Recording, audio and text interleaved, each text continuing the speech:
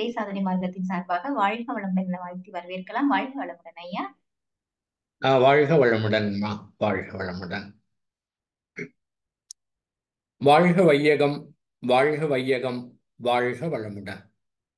உலக சமாதான பிரியர்களே உங்கள் அனைவருக்கும் முதற்கண் என் வணக்கத்தை தெரிவித்துக் கொள்கின்றேன். வாழ்க வளமுடன். ஒரு ஏழு ஏழு நிமிடங்கள் நாம் வந்து மௌனம் இருக்க போகிறோம் இந்த தியானத்திற்கும் மௌனத்துக்கும் என்ன வித்தியாசம்னு பார்க்க போகிறோம் மௌனம் தொடங்க போகிறோம் அங்கே எதுவுமே செய்ய தேவையில்லை. எந்த சங்கல்பமும் செய்ய தேவையில்லை.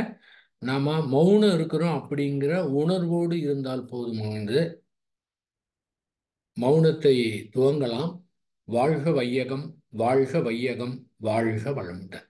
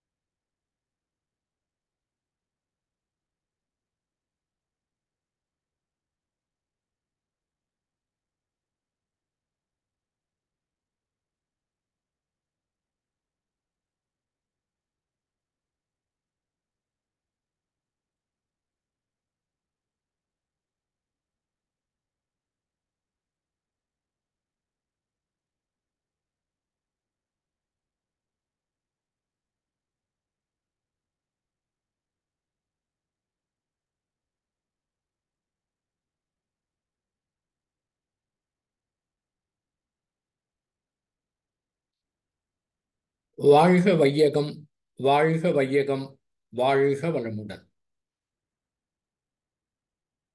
மௌனத்தை நிறைவு செய்து கொள்வோம். வாழ்க வளமுடன்.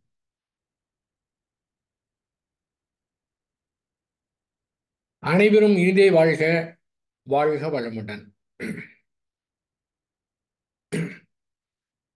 இன்றைய சிந்தனை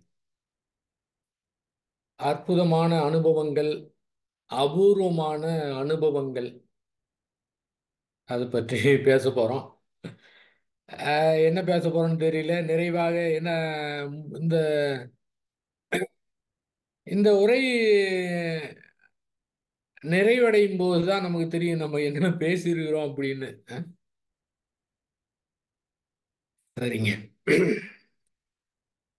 நமக்கு என்னவெல்லாம் வேண்டி இருக்கின்றது நாம் இன்னும் எப்படி போகணும்?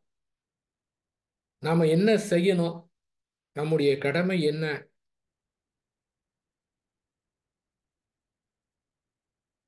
என்பதற்காக இது அமைந்திருக்கு அப்படின்னு நினைக்கிறேன்.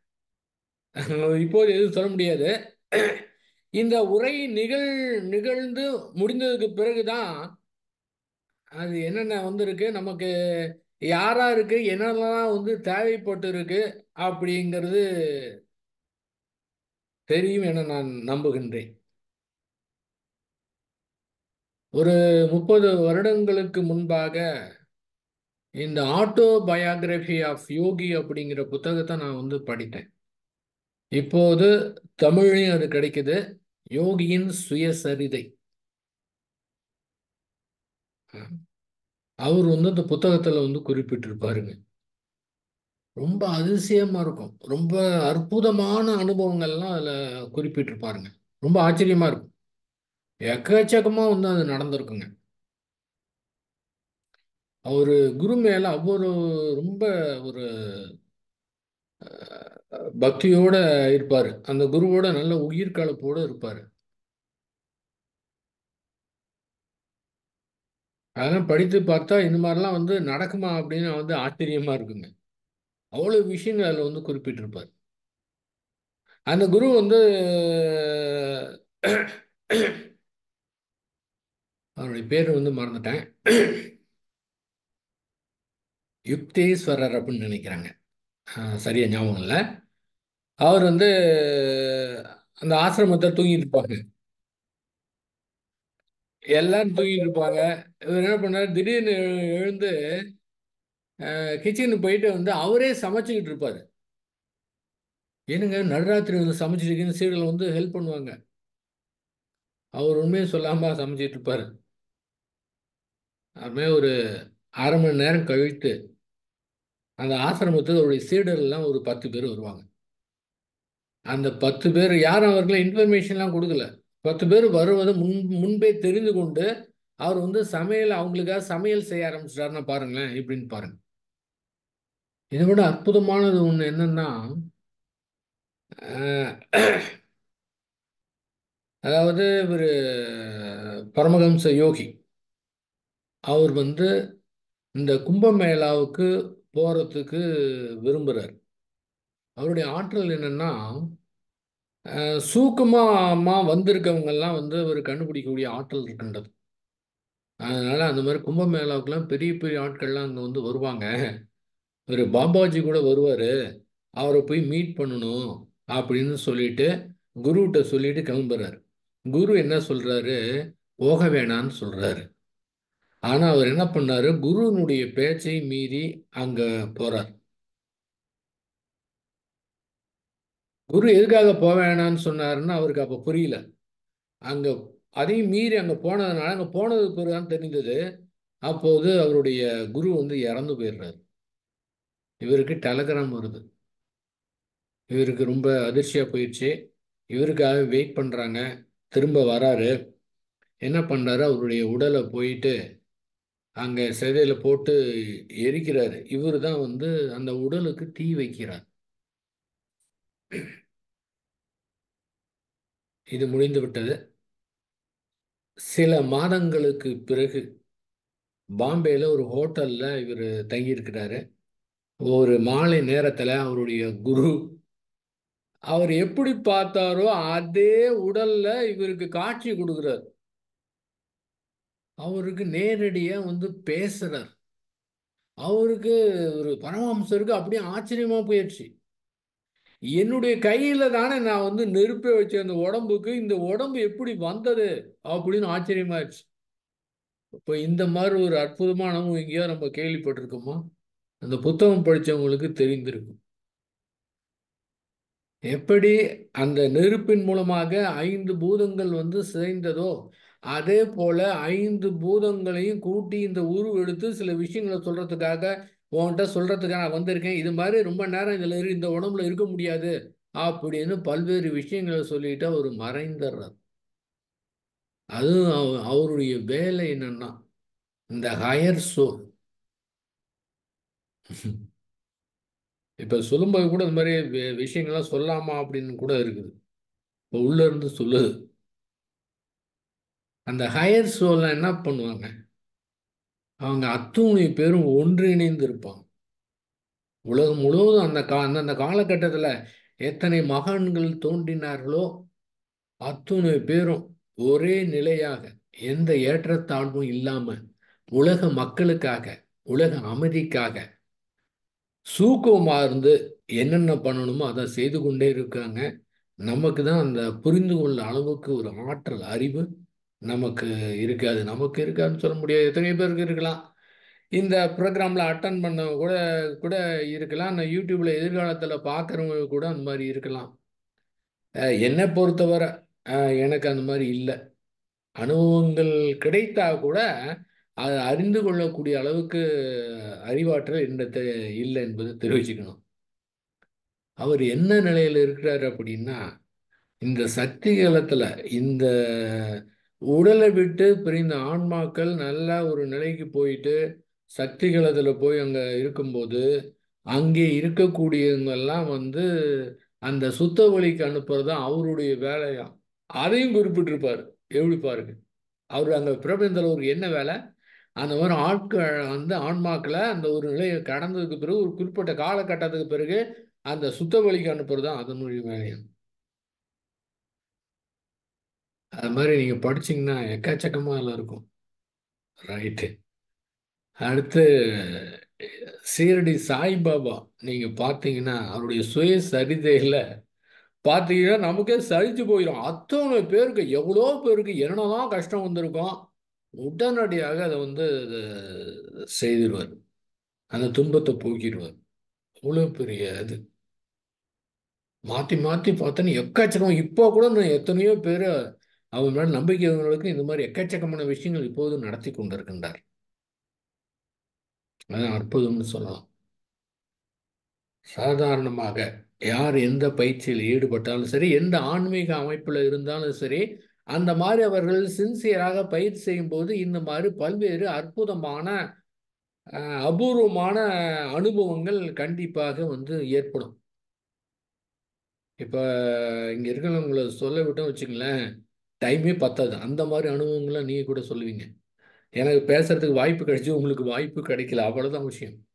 ஏன்னா செய்துட்டு இருக்கும்போது ஏன்னா இயற்கை. அந்த மனதுக்கு அந்த மாதிரி அனுபவங்கள்லாம் இயற்கை வந்து அப்படியே வாரி வாரி வழங்கிக்கிட்டே இருக்குங்க அடுத்து வேதாத்திரி மகரிஷி. வேதாத்திரி மகரிஷியை நான் என்ன சொல்லுவேன்? உலகமாக நடிகர்னு சொல்லுவேன்.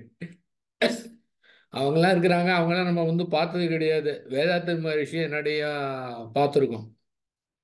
ஏன் உலக மகா நடிகர் அப்படின்னு சொல்கிறேன்னா அப்படி மௌனத்தில் அப்படியே உட்காந்துருப்பார் பாருங்க. அப்படியே அந்த இடத்துல மட்டும் இல்லை இன்னும் எங்கே உலகம் முழுவதும் எந்த மாதிரி அவர்கள் சீடல் இருந்தாலும் சரி ஒரு சிரடி சாய்பாபா மாதிரியே அத்தனை பேருக்கும் வந்து அந்த துன்பத்தை போக்கக்கூடிய ஒரு ஆற்றல் அவரிடத்திலே இருக்கின்றது. ஏன் உலகமாக நடிகர்னு சொன்னேன்னா இதில் வெளியில் கண்டுபிடிக்க முடியாது. யாராலும் கண்டுபிடிக்க முடியாதுங்க. அப்படியே மௌனத்தில் உட்காந்துருவார் அப்படியே எத்தனையோலாம் ந- நடக்குங்க. கண்ணை திறந்து பார்த்தா அப்படியே ஒரு குழந்தை மாதிரி உட்காந்துருப்பார் ஒன்றுமே செய்யாத மாதிரி. எக்கச்சக்கமான அற்புதம்லாம் பண்ணியிருப்பாருங்க அப்படியே ஒன்றுமே தெரியாத மாதிரி உட்காந்துருப்பாருங்க அப்படி எப்படிதான் இந்த மாதிரிலாம் முடியுது? அப்படி நேருக்கு நேர் பல முறை பார்த்துருக்கேன். எக்காச்சக்கமாக நடந்திருக்கும். எக்காச்சக்கமான ஆற்றல் என்னென்னமோலாம் நடந்திருக்கு இனிமேல் பகிர்ந்து கொள்ளவே முடியாது. அவர் யோகி வந்து ஓப்பனாக புக்கில் எழுதிட்டாரு. நம்மளாம் பகிர்ந்து கொள்ளவே முடியாதுங்க. அந்த மாதிரி விஷயங்கள்லாம் இருக்குதுங்க. வெளியில் கண்டே பிடிக்க முடியாது. எப்படி பாருங்க? கண்டே பிடிக்க முடியாதுங்க. நிச்சயமா அவர் செய்ய மாட்டார்னு தோணும். அந்த மாதிரி. ஏன்னா அது ஒரு ஆற்றல். இது தான் செய்ததெல்லாம் சூக்கமாக யாருமே கண்டுபிடிக்க முடியாத நிலையில வைத்துக் கொள்ளக்கூடிய ஒரு ஆற்றல் அவரிடத்தில் இருக்கின்றது. நீங்க நினைச்சிக்காதீங்க. அவர் வந்து உயிரோடு இருக்கிறப்ப தான் அவருக்கு அந்த உடலை நிறைவடைந்ததுக்கு பிறகு அவருக்கு தெரியாதுன்னு நினைச்சிடாதீங்க. அதுக்கும் பிறகு கூட அது கண்டினியூ ஆகிட்டு இருக்குதுங்க. எத்தனையோ பேருக்கெல்லாம் வந்து நடந்து கொண்டு தானே இருக்கின்றது.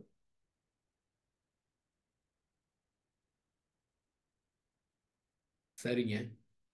இன்றைய டாப்பிக்குடைய நோக்கம் என்ன? இந்த மாதிரி அற்புதமான அனுபவங்கள் அபூர்வமான அனுபவங்கள்லாம் பேசுறதுனால நமக்கு என்ன நன்மை கிடைக்க போகின்றது? இன்னைக்கு பேசுறதுடைய நோக்கம் என்ன? மதன்குமார் இன்னைக்கு காலையில் தான் பேசினார். இன்னைக்கு ஏன் பேசினார்? ஓகே என்ன? என்ன டாபிக்னா ஒரு அரை மணி நேரத்தை சொல்கிறேன் என்ன? ஒரு பத்து நிமிடம். எனக்கு தோணுச்சு. இதை சொல்லணும்னு தோணுச்சு அவ்வளோதான் எது சொல்கிறேன் என்ன ஏது நமக்கு எதுவுமே தெரியாது. நம்ம வந்து ஒரு கருவி. அவ்வளோதான் டாபிக் கொடுத்தாச்சு. இப்போ போயிட்டு இருக்குது சரிங்க. திரும்ப வேதாத்திரி மகிழ்ச்சி வரேன். ஒரு இது சொல்லிட்டு திரும்ப வரேங்க. நாங்கள் வந்து மலேசியா போனோம். அங்கே வந்து மாஸ்டர் சேகா அப்படின்னு இருக்கிறார் நீங்கள் பார்த்தீங்கன்னா மற்ற மகான்கள்லாம் நமக்கு வந்து அவங்க வாழ்ந்த காலத்தில் நம்ம வாழ ஆனால் நமக்கு தெரியாது. இப்போ வாழும் காலத்தில் வேதாத்திரி மகரிஷியை வந்து பார்த்து அவரோட அந்த அனுபவம் கிடைச்சிது. அடுத்து மாஸ்டர் சேகாங்கிறவர் மலேசியாவில் இருக்கார். இப்போ அவர் கூட திருவண்ணாமலையில் ஒரு இது வைத்திருக்கிறாருங்க. ஃபீச்சரஸ் குளோபல் கம்யூனிட்டி ஃபவுண்டேஷன் இந்த உலக சமுதாய சேவா சங்கம் இந்த வேர்ல்டு கம்யூனிட்டி சர்வீஸ் சென்டர் மாதிரி ஃபியூச்சரைஸ் குளோபல் கம்யூனிட்டி ஃபவுண்டேஷன் ஃபியூச்சரைஸ்னா எதிர்கால குழந்தைங்களுக்கு உண்டான அந்த மாதிரி ஒரு வைத்திருக்கிறார். அவரும் சில ப்ரோக்ராம் நடத்திட்டு இருக்கிறார். அவரோடைய எனக்கு எக்கச்சக்கமான அனுபவங்கள்லாம் அற்புதமாக வந்து கிடைத்திருக்குதுங்க. இப்போது பேசினா அது டைம் பத்தாது. அதாவது அவர் வந்து மலேசியாவில் இருக்கார். அவருடைய அவங்களுக்கு தெரிஞ்சவங்க ஒருத்தர் சுவிட்சர்லாந்தில் இருக்கிறாங்க. அவங்களுக்கு ஒரு இது.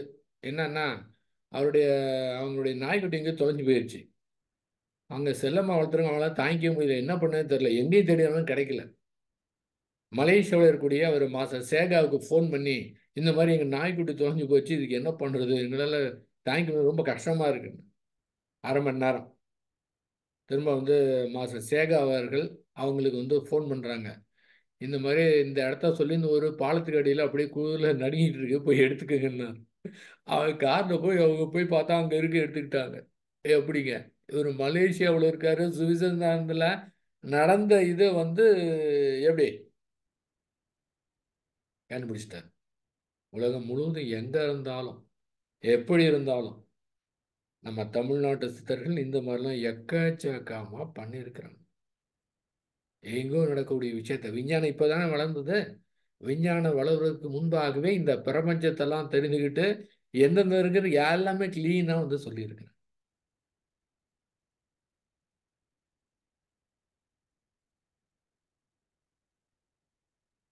சரி.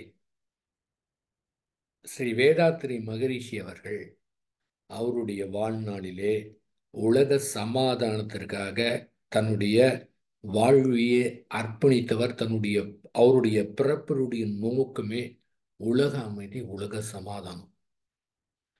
அவரை பற்றி அவரோட அனுபவம் இருக்கிறவங்க வந்து எத்தனையோ பேர் வந்து வெளியில் சொல்லாமல் இருக்கலாம். அவ்வளோ அனுபவங்கள் அற்புத அனுபவங்கள்லாம் அடைந்திருக்கிறாங்க.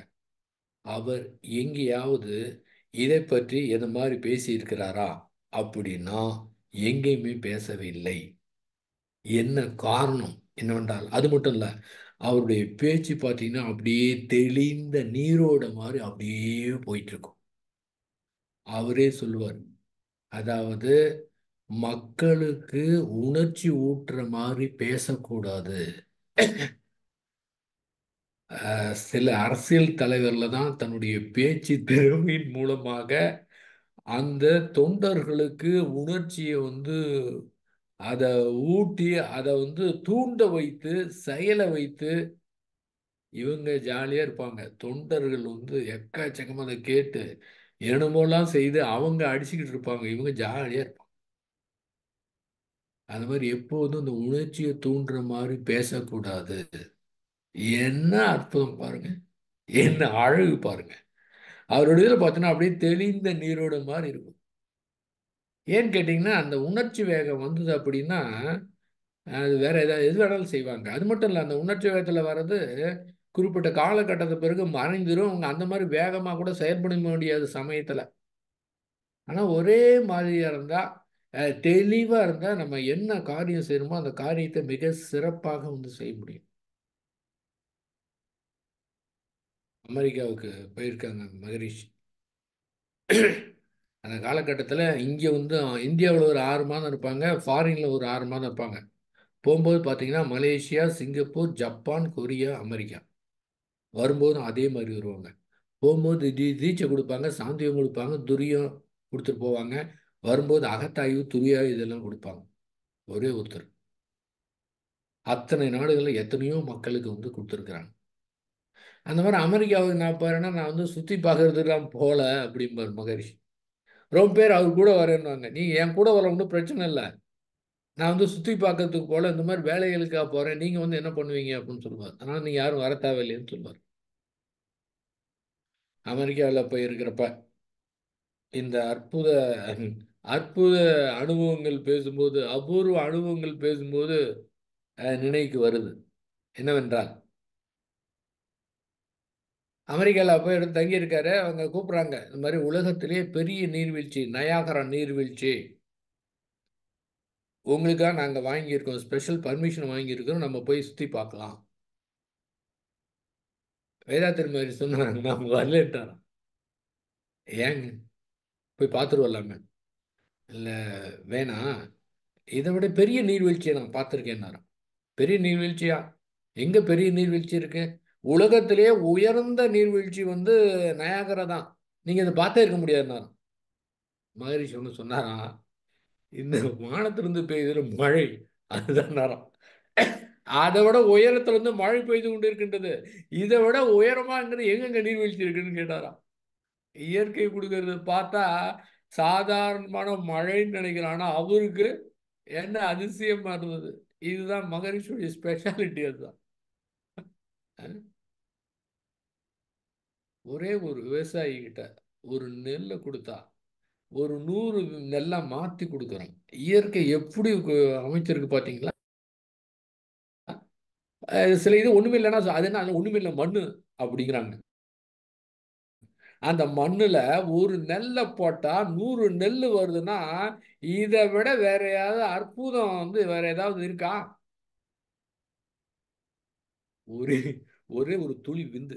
ஒரே ஒரு துளி வந்து கருப்பையில விழுந்து ஒரு பத்தே மாதத்துல ஒரு அழகிய குழந்தையா பிறந்து குவா குவான்னு கத்துதுன்னா இதை விட அதிசயம் எங்கேயாவது இருக்க முடியுமா? என்ன பாருங்க. ஏன்னா அது சர்வசாதாரணமா நடந்து கொண்டு இருக்கிறனால அது பெரிதாக வந்து தெரிவது கிடையாது. உலகத்திலே பெரிய விஞ்ஞானி. அவர்கிட்ட கொடுங்க. ஒரு கிலோ சாதம். ஒரு கிலோ சாதத்தை கொடுத்து இந்த சாதத்தை நீங்கள் வந்து ஒரே ஒரு சொட்டு ரொம்பலாம் வேணும். ஒரு சொட்டு ரத்தத்தை மட்டும் எடுத்து கொடுங்க. இந்த சாதத்திலேருந்து ஒரு சொட்டு ரத்தத்தை எடுத்து கொடுங்க. ஒன்றும் பண்ண முடியாது. ஆனால் நம்ம சாப்பிட்றோம். சாப்பிட்டு அப்படி ஜீரணமாகி என்னென்னலாம் உடம்புல வந்து ஏழு தாதுக்களை என்ன மாற்றம் நடக்குது? ஒருத்தர் ரெண்டு பேருக்கா எத்தனை கோடி மக்கள் இருந்தாலும் அத்தனை கோடி மக்களுக்கும் அது நடக்குது. இப்போ மனிதன் மட்டுமா? எத்தனை விதமான ஜீவராசிகள்? இந்த பூமியை விடுங்க. பூமியே சின்னது. ஒரு இந்த பிரபஞ்சத்தில் ஒரு மேப் மாதிரி போட்டோன்னா பூமியை குதிக்கிறதுக்கே இடமே இல்லை. அப்போ இந்த பிரபஞ்சம் எவ்வளோ பெரியது? கோடானு கோடி சூரிய குடும்பங்கள். இது அத்தனையும் தன்னகத்தே வைத்து அப்படியே ஒரு பஞ்சு மாதிரி மிதக்க விடுதுன்னா அது என்ன பெரிய ஆற்றல்? அதெல்லாம் கம்பேர் பண்ணுறப்ப அதெல்லாம் வந்து ஒன்றுமே கிடையாது. ஆக இயற்கை அப்படி இருக்கின்றதே அந்த இயற்கையை கூர்ந்து பார்த்தா இயற்கை சொல்லக்கூடியதை பா என்ன அதை பாடம் கொடுக்குது அப்படின்னு பார்த்தோம்னா ஒன்றுமே பெரிதாக தெரியாது. அவ்வளோ அற்புதம் நிரம்பி இருக்கின்றது. ஆனால் இது அத்தனையும் தெரிந்து கொள்ளக்கூடியது. அது நம்மிடத்திலே இருக்கின்றது பூமியில இருக்கக்கூடிய மனிதனிடத்திலே இருக்கின்றது. மனிதனிடத்திலே இருக்கக்கூடிய மனதுல இருக்குதுங்க. அப்போ எவ்வளோ பெரிய ஆற்றல் இந்த மனம் படைத்து இருக்கின்றது எவ்வளவுலாம் தெரிந்து கொள்ளக்கூடிய அளவுக்கு ஆற்றல் இருக்கின்றது? தெரியாத தவம் பண்ணோம். சுத்த வழிக்க போயிட்டு வந்துட்டோம். பிரபஞ்சத்திலிருந்து ஒரு நட்சத்திரம் ஏற்படக்கூடிய வெளிச்சம் இன்னும் பூமிக்கே வந்து சேரலைங்களாங்க. பாருங்க. பிரபஞ்சம் உற்பத்தி ஆச்சு அதுக்கப்புறம் பரிணாமத்தில் பூமி உற்பத்தி ஆச்சு. அந்த பிரபஞ்சத்திலேருந்து அந்த நட்சத்திரத்துலேருந்து ஏற்பட்ட ஒரு லைட்டு வெளிச்சம் அங்கேருந்து ட்ராவல் பண்ணிக்கிட்டு இருக்கு இன்னும் பூமிக்கே வந்து சேரலைன்னா அது எவ்வளவு உயரத்தில் இருக்கும் பாருங்க. இன்னும் வந்தே சேரலைங்களாங்க. பூமி தோன்றி எவ்வளோ நாள் இன்னும் வந்து சேரல. அவ்வளோ தூரம் இருக்கு. லைட்டு எவ்வளோ ஸ்பீடாக போகும். இன்னும் வந்து சேரலன்னா எப்படி பாருங்க? ஆனா இந்த மனதின் மூலமாக இதனுடைய வேகம் என்னங்க? எப்படி போய் அங்கே போயிட்டு வந்தது? இந்த பிரபஞ்சத்தில் எப்படி மனதை நிறுத்துது? அதை தாண்டி இருக்கிற சுத்தவில் எப்படி தோய்ந்து வந்தது? என்ன ஆற்றல் இருக்கின்றது இந்த மனதுக்கு? எவ்வளோ அற்புதமான ஒரு படைப்பு பாருங்கள் அதனுடைய படைப்புக்கு முன்னால் எல்லாமே ஒன்றுமே கிடையாது. அப்போ இத்தனை மகான்கள்லாம் அவங்க சொல்லியிருக்கிறாங்கன்னா அது வந்து பொய்யே கிடையாது. நிச்சயமாக உண்மை. அதிலே சந்தேகமே பட தேவையில்லை. ஆனால் எதற்காக சொன்னாங்கன்னா சாதாரண மக்கள்லாம் அவர்களை நம்புவதற்காக ஒன்று சொன்னாங்கன்னா அவர் சொல்கிறத ஃபாலோ பண்ணணும்னா அதுக்காக அவங்க சில இதை வந்து சொல்லுவாங்க அப்போ தான் ஃபாலோ பண்ணுவாங்க. ஏன்னா அவங்க மேலே நம்பிக்கை வராதுல்ல. அப்போ சொல்கிறத அவங்க சொல்கிறத சரியாக கேட்டாங்கன்னா இவங்க வந்து வாழ்க்கையில் மாற்றம் ஏற்படும். இப்போ நான் நம்பிக்கை ஏற்படுனா சில இதெல்லாம் வந்து சொல்ல வேண்டியிருக்கு. அப்போ இயற்கையில் அதுக்கு எத்தனையோ காரணங்கள் இருக்கும். ஏக்கச்சக்கமான காரணம் இருக்கும். அதெல்லாம் தவறுன்ற சொல்லவே முடியாது. ஆனால் இப்போது நம்முடையது என்னென்னா வேதாத்திரி மகரிஷி அவங்க வந்து அவருடைய இதை தெளிவாக வந்து கொடுத்துருக்காங்க அப்படின்னா அதை சரியான முறையில் வந்து உலக மக்களுக்கு கொண்டு போகக்கூடிய பொறுப்பு நம்மிடத்திலே இருக்கின்றது. அப்போ இந்த மாதிரி அற்புதமான அபூர்வமான அனுபவங்களுக்கெல்லாம் நாம் மயங்காமல் தெளிவாக இருந்து அதை வந்து கொண்டு போவோம் இதுதான் இன்னைய டாப்பிக்குடைய எழுத்துடைய நோக்கம் வந்து அதுதான். அப்ப என்ன பண்ணணும்?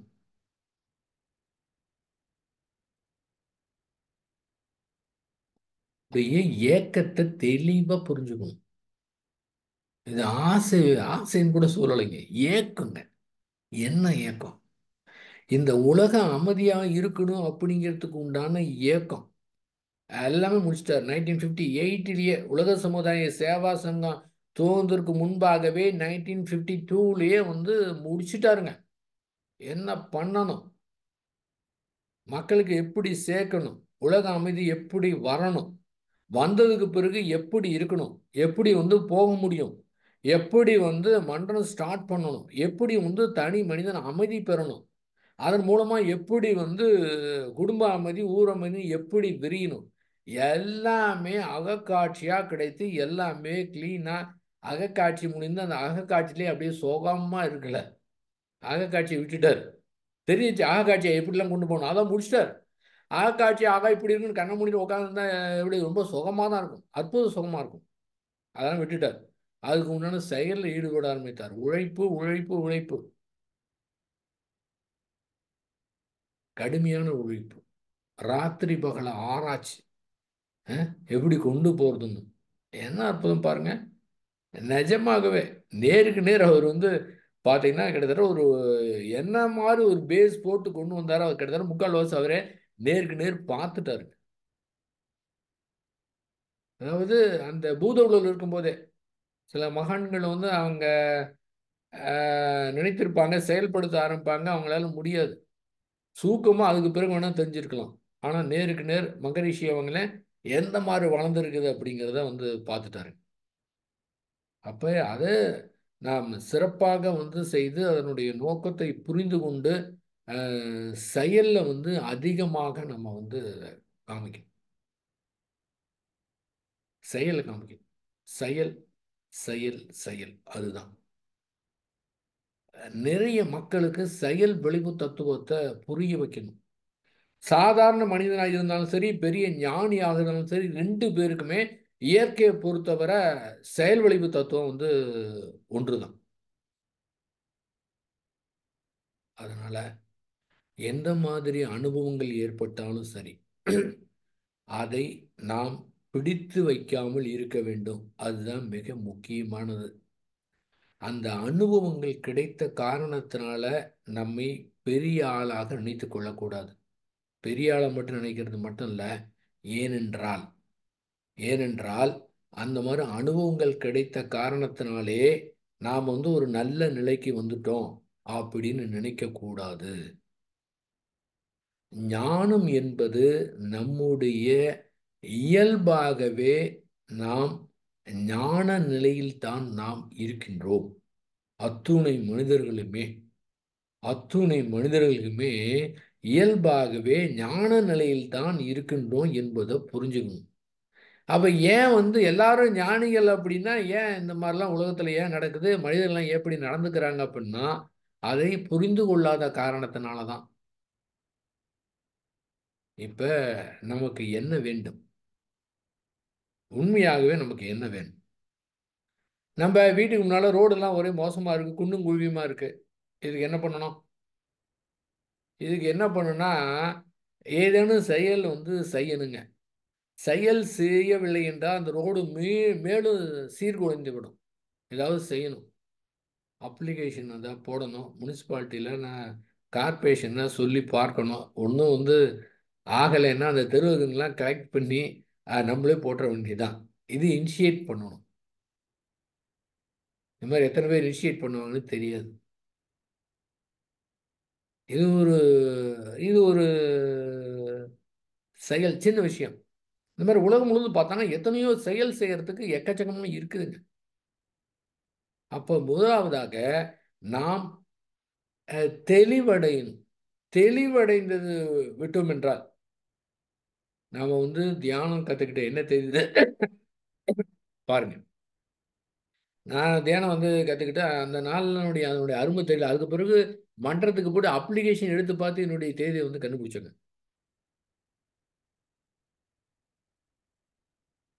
அப்ப அது பிறகு அதனுடைய அருமை வந்து தெரிந்தது.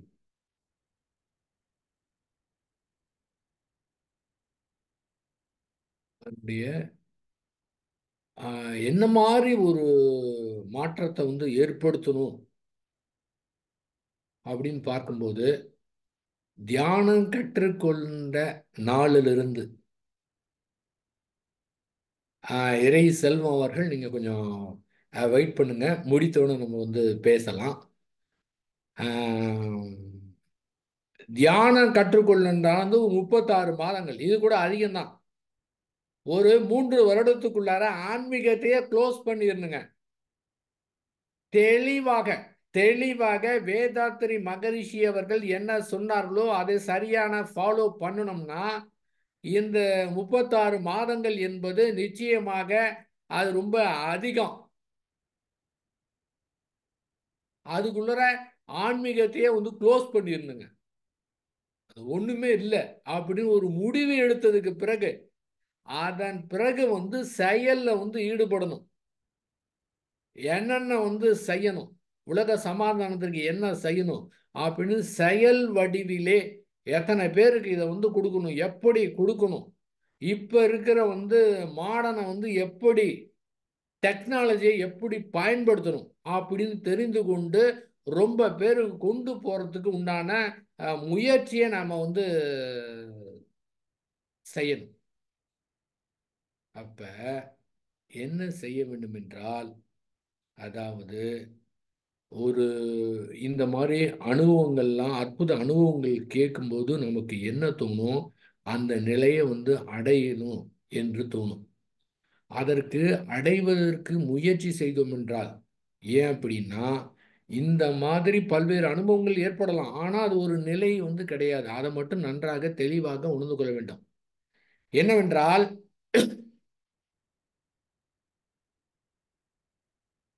அந்த மாதிரி ஒரு நிலையே கிடையாது. ஏன்? ஏன்னா ஏற்கனவே நாம் ஒரு நல்ல நிலையில் தான் இருக்கின்றோம்.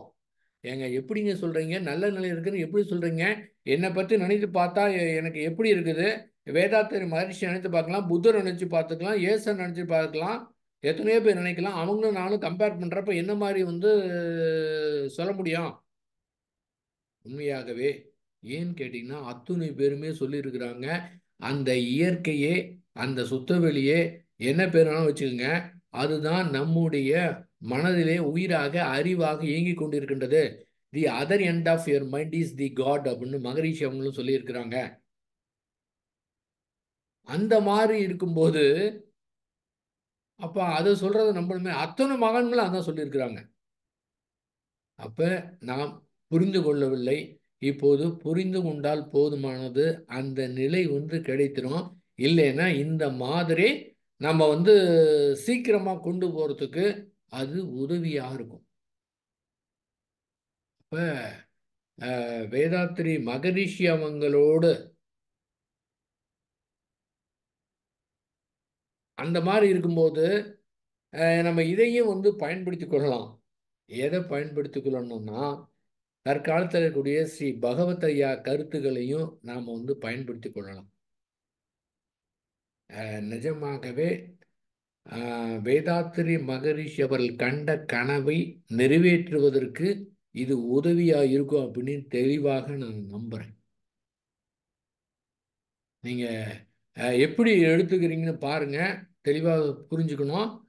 சொல்லால் மட்டும் நம்பாதே சுயமாய் சிந்தித்தே தெளிவாங்கிற வார்த்தையை நம்ம அடிக்கடி பயன்படுத்துகிறோம் அந்த அறிவை வந்து பயன்படுத்தணும். என்னவென்றால் அதாவது வெளிப்புற செயலுக்கு நாம் தியானத்தை பயன்படுத்திக் கொள்ள வேண்டும். தியானம் நல்லா செய்யணும். ஆழ்ந்து வந்து செய்யணும். வெளிப்புற செயலை செய்வதற்கு தியானத்தை பயன்படுத்திக் கொள்ள வேண்டும். அந்த உள்ளார இருக்கிறத பொறுத்தவரை அகத்தை பொறுத்தவரை அகத்தை பொறுத்தவரை ஞானத்தை பயன்படுத்திக் கொள்ள வேண்டும். புறத்தே தியானத்தை பயன்படுத்திக் கொள்ள வேண்டும். அப்போ தியானமும் வேண்டும் ஞானமும் வேண்டும். அப்போ தியானம் செய்து ஞானம் அடையணும்னா இப்போது ரிவர்ஸில் வச்சுக்கலாம். ஞானம் அடைந்ததுக்கு பிறகு நீங்கள் தியானம் வந்து செய்யலாம். ஏற்கனவே செஞ்சுக்கிட்டு இருக்கோம் இதோடு செய்தால் இப்போ தியானம் மிக அற்புதமாக வரும். பல்வேறு எண்ணங்கள் தியானம் பண்ணும்போது பல்வேறு எண்ணங்கள் வந்து மோதுகின்றன. அது வந்து என்னாவது நம்மளை வந்து வேற எங்கேயோ கொண்டு போகுது. எத்தனை வித எண்ணங்கள் ஏற்பட்டாலும் சரி அதுக்கு காரணமாக நிலை குலையாமல் இருக்கும். நீங்கள் பாருங்க. வேதாத்திரி மகரிஷிவனுக்கு உலகம் முழுதும் கோடிக்கணக்கான சீடல் இருக்கிறாங்க. அவர் இருக்கும்போதே எத்தனையோ பேர் வந்து அவரை நினைத்து உருகி எத்தனையோ நினைத்து கொண்டு இருப்பாங்க அத்தனை பேருடைய எண்ணங்களும் அவர்கிட்ட போய் மோதும். ஆனால் அவர் வந்து அத்துணை எண்ணங்களா இருந்தாலும் சரி நிலை குலையாமல் அப்படியே இருந்து அவர் என்ன பண்ணுவாரு? சக்திகளத்துல போய் ஒரு ஸ்டாண்டிங் இன்ஸ்ட்ரக்ஷன் கொடுத்துருவார். யாரு என்னை நினைத்து இந்த மாதிரி கஷ்டப்படுறாங்களோ அவங்களுடைய துன்பம் வந்து போகட்டும். அப்படின்னு சொல்லிடுவாரு உடனே ரிலீஸ் ஆகிரும் எப்படிங்க? அந்த அளவுக்கு ஆற்றல். அப்போ இப்போ பாருங்க நம்ம வந்து யாராவது நம்மளை நடிச்சுக்கிட்டே இருப்பாங்க. அவங்க நினைவு வந்துக்கிட்டே இருக்கும். கதை தட்டுவாங்க போனோம் பார்த்தீங்கன்னா அவர் வந்திருப்பாரு. ஏங்க இப்போதான் நினச்சி நீங்கள் வந்துட்டீங்கன்னா நாம் நினச்சி அவர் வரல. ஏற்கனவே அவர் வந்துக்கிட்டு இருக்காரு. நம்மளை நினச்சி வந்திருக்காரு. அதனால் அவருடைய எண்ணங்கள் நமக்கு தெரிஞ்சுது. நான் நல்ல ஒரு அமைதியான நிலை இன்பம் இல்லாமல் துன்பம் இல்லாமல் விருப்பு இல்லாமல் வெறுப்பு இல்லாமல் அந்த மாதிரி ஒரு மனநிலையில வந்தோம் இருந்தோம் என்றால் அவங்க நினைக்கிறது கூட தெரியும். அவங்க வர்றது கூட தெரியும். அவங்க என்ன நினைக்கிறாங்க கூட துல்லியமா தெரிஞ்சுக்க முடியுங்க. துல்லியமா தெரிய முடியும். அதுக்கு நாம என்ன இருக்கணும்? இங்க இன்ப துன்ப உணர்வுல சிக்கிறாம விருப்பு வெறுப்பு இல்லாம ஃப்ரீயா மனதை ஒரு ஆறு போல ஓட விட்டு இருந்தோம்னா எதையுமே பிடித்து வைக்காமல் இருந்தா ரொம்ப நல்லா தெரியும். தெரியும் ஞாபகம் வரும்போது சொல்லிடுறேங்க. இந்த அவர் சீரடி சாய்பாபா இருக்கட்டும் இவர் வந்து அவர் யோகியாக இருக்கட்டும் வேதாத்திரி மகரிஷியாக இருக்கட்டும் எத்தனையோ பேர் வாழ்க்கையில் எத்தனையோ பேர் எல்லாம் ஒரு மாற்றத்தை ஏற்படுத்தினாங்க பார்த்தீங்களா அவங்க கூட என்ன செய்ய முடியும்னா ஸ்ரீ பகவத் ஐயா அவருடைய பார்வையில் அவங்க கூட அந்த மாதிரி செய்திருக்க முடியாது. இயற்கை இந்த கர்மா அப்படி இவங்களை அனுப்பி வைத்துடுது அப்போ இவங்க ரிலீஸ் பண்ணுறாங்கன்னா அது கூட முடியாது. ஸ்ரீ பகவத்தனுடைய பார்வையில என்ன சொல்றாரு? அந்த மாதிரி அவங்க செய்தாங்கன்னா அங்க இருக்கிற வினைப்பதிவை வந்து ஒரு கொஞ்சம் முன்னால பின்னால மாத்தி வச்சிருவாங்க தவிர அடியோடு ஒண்ணுமே பண்ண முடியாது. ஏன்னா அவங்க செய்யறது அவங்க தான். மகரிஷி அவங்களும் சொல்லுவாங்க சில இதுல வந்து சில இதை பார்க்கும்போது ஒன்றுமே பண்ண முடியாது. சில இதை மாற்றம் ஏற்படுத்த முடியும். அவங்களுடைய கர்ம வினை. இப்போ வந்து இவருக்கு வந்து இந்த மாதிரி ஒரு துன்பம் வரப்போகுதுங்க. இந்த கர்ம வினையை வந்து ஒரு ஒன் இயருக்கு வந்து தள்ளி வச்சிருது ஆனால் அந்த ஆர்டர் அவங்களுக்கு இருக்கும். இந்த ஒன் இயர் தள்ளி வச்சிட வேண்டியது. இப்போ என்ன ஆகும் அவர் இப்போ கஷ்டப்பட மாட்டார். ரிலீஸ் பண்ணியிருப்பாரு அந்த ஒரு வருடம் கழித்து அவர் வந்து அதை அனுபவிக்கணும். ஆனால் அதுக்குள்ளே இவர் வந்து நல்ல ஒரு தர்ம நியாயத்தோடு நல்ல காரியங்களை செய்து கொண்டு வந்தார் என்றால் அது கூட மாறுவதற்கு வாய்ப்பு இருக்கின்றது. அது விளைவாக வ- இருக்க கூட வாய்ப்பு இருக்குது. இதுதான் அந்த மகான்கள் பண்ணுறாங்க நேரடியாக இவர் ஏதாவது ஒன்று செய்திருக்கிறாருன்னா அதுக்கு ஒரு தண்டனை வந்து கிடைக்க போகுதுன்னா இதை அப்படி நேரடியாக மாற்ற முடியாது. இயற்கை நீதி யாருமே ஒன்றுமே பண்ண முடியாது. ஆனால் இவங்க இருக்கிற ஆற்றலை வைத்து அவங்க வரக்கூடிய இதை கொஞ்சம் தள்ளி வச்சுட்டாங்க. தள்ளி வச்சாங்க சுத்தமாக இவரை காப்பாற்றலை அதன் பிறகு இவங்க அறிவை கொண்டு எந்த மாதிரி நடந்துக்கிறாங்களோ அதை பொறுத்து திரும்ப அதை அனுபவிக்கணுமா? இப்போ அனுபவிக்கிறது ஒரு வருடம் கழித்து அனுப்பி அனுபவிப்பார். ஆனால் இதை புரிந்து கொண்டு நல்ல காரியங்களே மிக சிறப்பாக எந்தவித எதிர்பார்ப்பும் இல்லாமல் நல்ல காரியங்களை செய்து கொண்டு இருந்தால் அது வந்து செயலுக்கு வராமல் தடுக்க முடியும். அது இருக்கும். செயலுக்கு வராமல் கூடிய தடுக்கக்கூடிய வல்லமை கூட இருக்கு. அந்த மாதிரி நல்ல காரியங்களை செய்யணும். வேதாத்திரி மகர்ஷி அவங்களே சொல்லிட்டாங்க. வேற ஒண்ணுமே கிடையாது. என்ன ஒரே ரெண்டே ரெண்டு போதும். யாருடைய உடலுக்கும் மனதுக்கும் துன்பம் தரமாட்டேன். துன்பப்படும் உயிர்களுக்கு என்னால் முடிந்த உதவிகளை செய்வேன். ரெண்டு முடிஞ்சிச்சா இதை செய எப்படி செயல்படுத்துறது? நடைமுறை வாழ்க்கையில் யதார்த்த வாழ்க்கையில் எப்படி செயல்படுத்துறது முழுமையாக எப்படி செயல்படுத்துறது நிஜமாவே நீங்கள் ஸ்ரீ பகவத்தையோடைய கருத்தை நீங்கள் வந்து புரிந்து கொண்டு செயல்படுத்திங்கன்னா இந்த ரெண்டையும் மிக சிறப்பாக செய்ய முடியும். எல்லாம் செய்து கொண்டு இருக்கலாம். இன்னும் மிக சிறப்பாக மிக இன்னும் அதிகமான மக்கள் வந்து செய்ய முடியும். என்னவென்றால் அதாவது அகத்தை பொறுத்தவரை அகப்பிரச்சனையை பொறுத்தவரை ஒரு பிரச்சனையே கிடையாது. அகத்தில் ஏற்படக்கூடிய பிரச்சனைகள் அது நம்முடைய இயல்பாக அங்கே இருக்கின்றது. நம்ம ஒவ்வொருத்தருக்கும் ஒவ்வொரு இயல்பு இருக்கும். சில பேர் வந்து பயந்த சுபாவம் உள்ளவங்க இருப்பாங்க. சில பேருக்கு சட்டு சட்டுன்னு கோபம் வரும். அவர் பெரிய கோபக்காரன் பாருங்க. சில பேர் இயற்கையாகவே அமைதியாக இருப்பாங்க. சில பேர் வந்து எதற்கு எடுத்தாலும் வருத்தப்படவங்களாக இருப்பாங்க. அதாவது எதுக்கு எடுத்தாலும் கவலைப்பட்டுட்டே இருக்கிறது. கவலை எதுவும் இல்லைன்னு வச்சுக்கலேன் ஒரு கவலையும் இல்லையா அப்படின்னு கவலை நினச்சிக்கிட்டு இருக்கிறது. இன்னும் சில பேருக்கு தான் கவலைப்படுறோங்கிற விஷயம் தெரியாமே கவலைப்பட்டு இருப்பாங்க. இந்த மாதிரி பல்வேறு இயல்புகள் இருக்குது. அந்த இயல்புக்கு என்ன காரணம்னா அவங்க பெற்றோரிடத்தில் வந்திருக்கலாம். அவங்க வாழ்ந்த வாழ்க்கை அப்படி இருக்கலாம். சூழ்நிலை இருக்கலாம். இவங்க எண்ணம் சொல் செயல் காரணமாக என்ன செய்து வைத்திருக்கிறார்களோ அது அத்தனையுமே அடிமனதிலே பதிவாகி அந்த அடி பதிவானதான் இந்த அடிமனது அதுதான் இயல்பு. அந்த இயல்பு தான் இந்த சூழ்நிலைக்கு ஏற்றாற் போல அது சப்ளை பண்ணுது. அது பண்ணுது. அதான் இயற்கை. அது அந்த சூழ்நிலைக்கு ஏற்றாற் போல இந்த மாதிரி உணர்வை கொடுக்குது. ஏற்கனவே அந்த அடிமனங்கிறது இது மட்டும் இல்லை ஏற்கனவே பல்வேறு பிறவிகளாக பெற்றது அங்க இருக்கு. பாருங்க. அப்ப இதெல்லாம் தெரிந்துக்கிட்டு தான் அவங்க வந்து மாற்றியமைக்கூடிய வல்லமை. அந்த அளவுக்கு குருவோட உயிர்களை உயிர் அவர் இருக்கணும் சொல்றதை கேட்கணும். அவர் என்ன நினைத்தா அதை கொண்டு போகணுங்கிற எண்ணம் இருக்கிறவங்களுக்கு அந்த இயற்கையே அந்த மகான்கள் மூலமாக சில சங்கடத்திலிருந்து தவிக்கக்கூடிய தருணம் வந்து கிடைக்குங்க. இது சூக்கமான விஷயம். எக்கச்சக்கமாக இருக்குதுங்க அது. நம்ம அறிவு கொண்டு கண்டுபிடிக்க முடியாது. முன்ன பின்ன அப்பா என்ன இதுங்க? எத்தனை பிறவிகள்? ஓஷோலாம் நீங்கள் பார்த்தீங்கன்னா அஹ், அபரிதமான ஆற்றல் ஓஷோலாம். அவருக்கு வந்து ஒன்பதாவது வயதிலே வந்து தெரிந்து விட்டதா ஒன்பதாவது வயதிலே ஏத்தமா இருக்கக்கூடிய மனம் எப்படி என்ன மாதிரி நினைக்கிறாங்கன்னு கூட ஓஷோ சொல்லிடுவாராம் என்ன மாதிரி ஆற்றல் பாருங்கள் அவர் வந்து பூனேவில் நடந்தது அமெரிக்காவில் நடந்ததுன்னு தெரியலைங்க. அமெரிக்காவில் இருக்கிற ஒரு இது பூனேன்னு நினைக்கிறேன். அங்கே ஒரு ஆசிரமத்தில் இருக்க அவர் உள்ளே இருக்கிறாரு. ஒரு ஆள் உள்ளே வராங்க. உள்ளே வந்துன்னா ஒரு ரூமில் இருக்காங்க தெரிஞ்சு போச்சு. இந்த நபர் வராங்கன்னு. அவங்க உள்ளே வந்து கையெழுத்து போட்டு போய் உட்காரணும் உடனே த செக்ரட்டரி கூப்பிட்றாரு. அந்த கையெழுத்து போட்டதில் இந்த பேருக்கு தான் போய் பாருங்கிறாரு. அங்கே பார்த்தா இல்லை.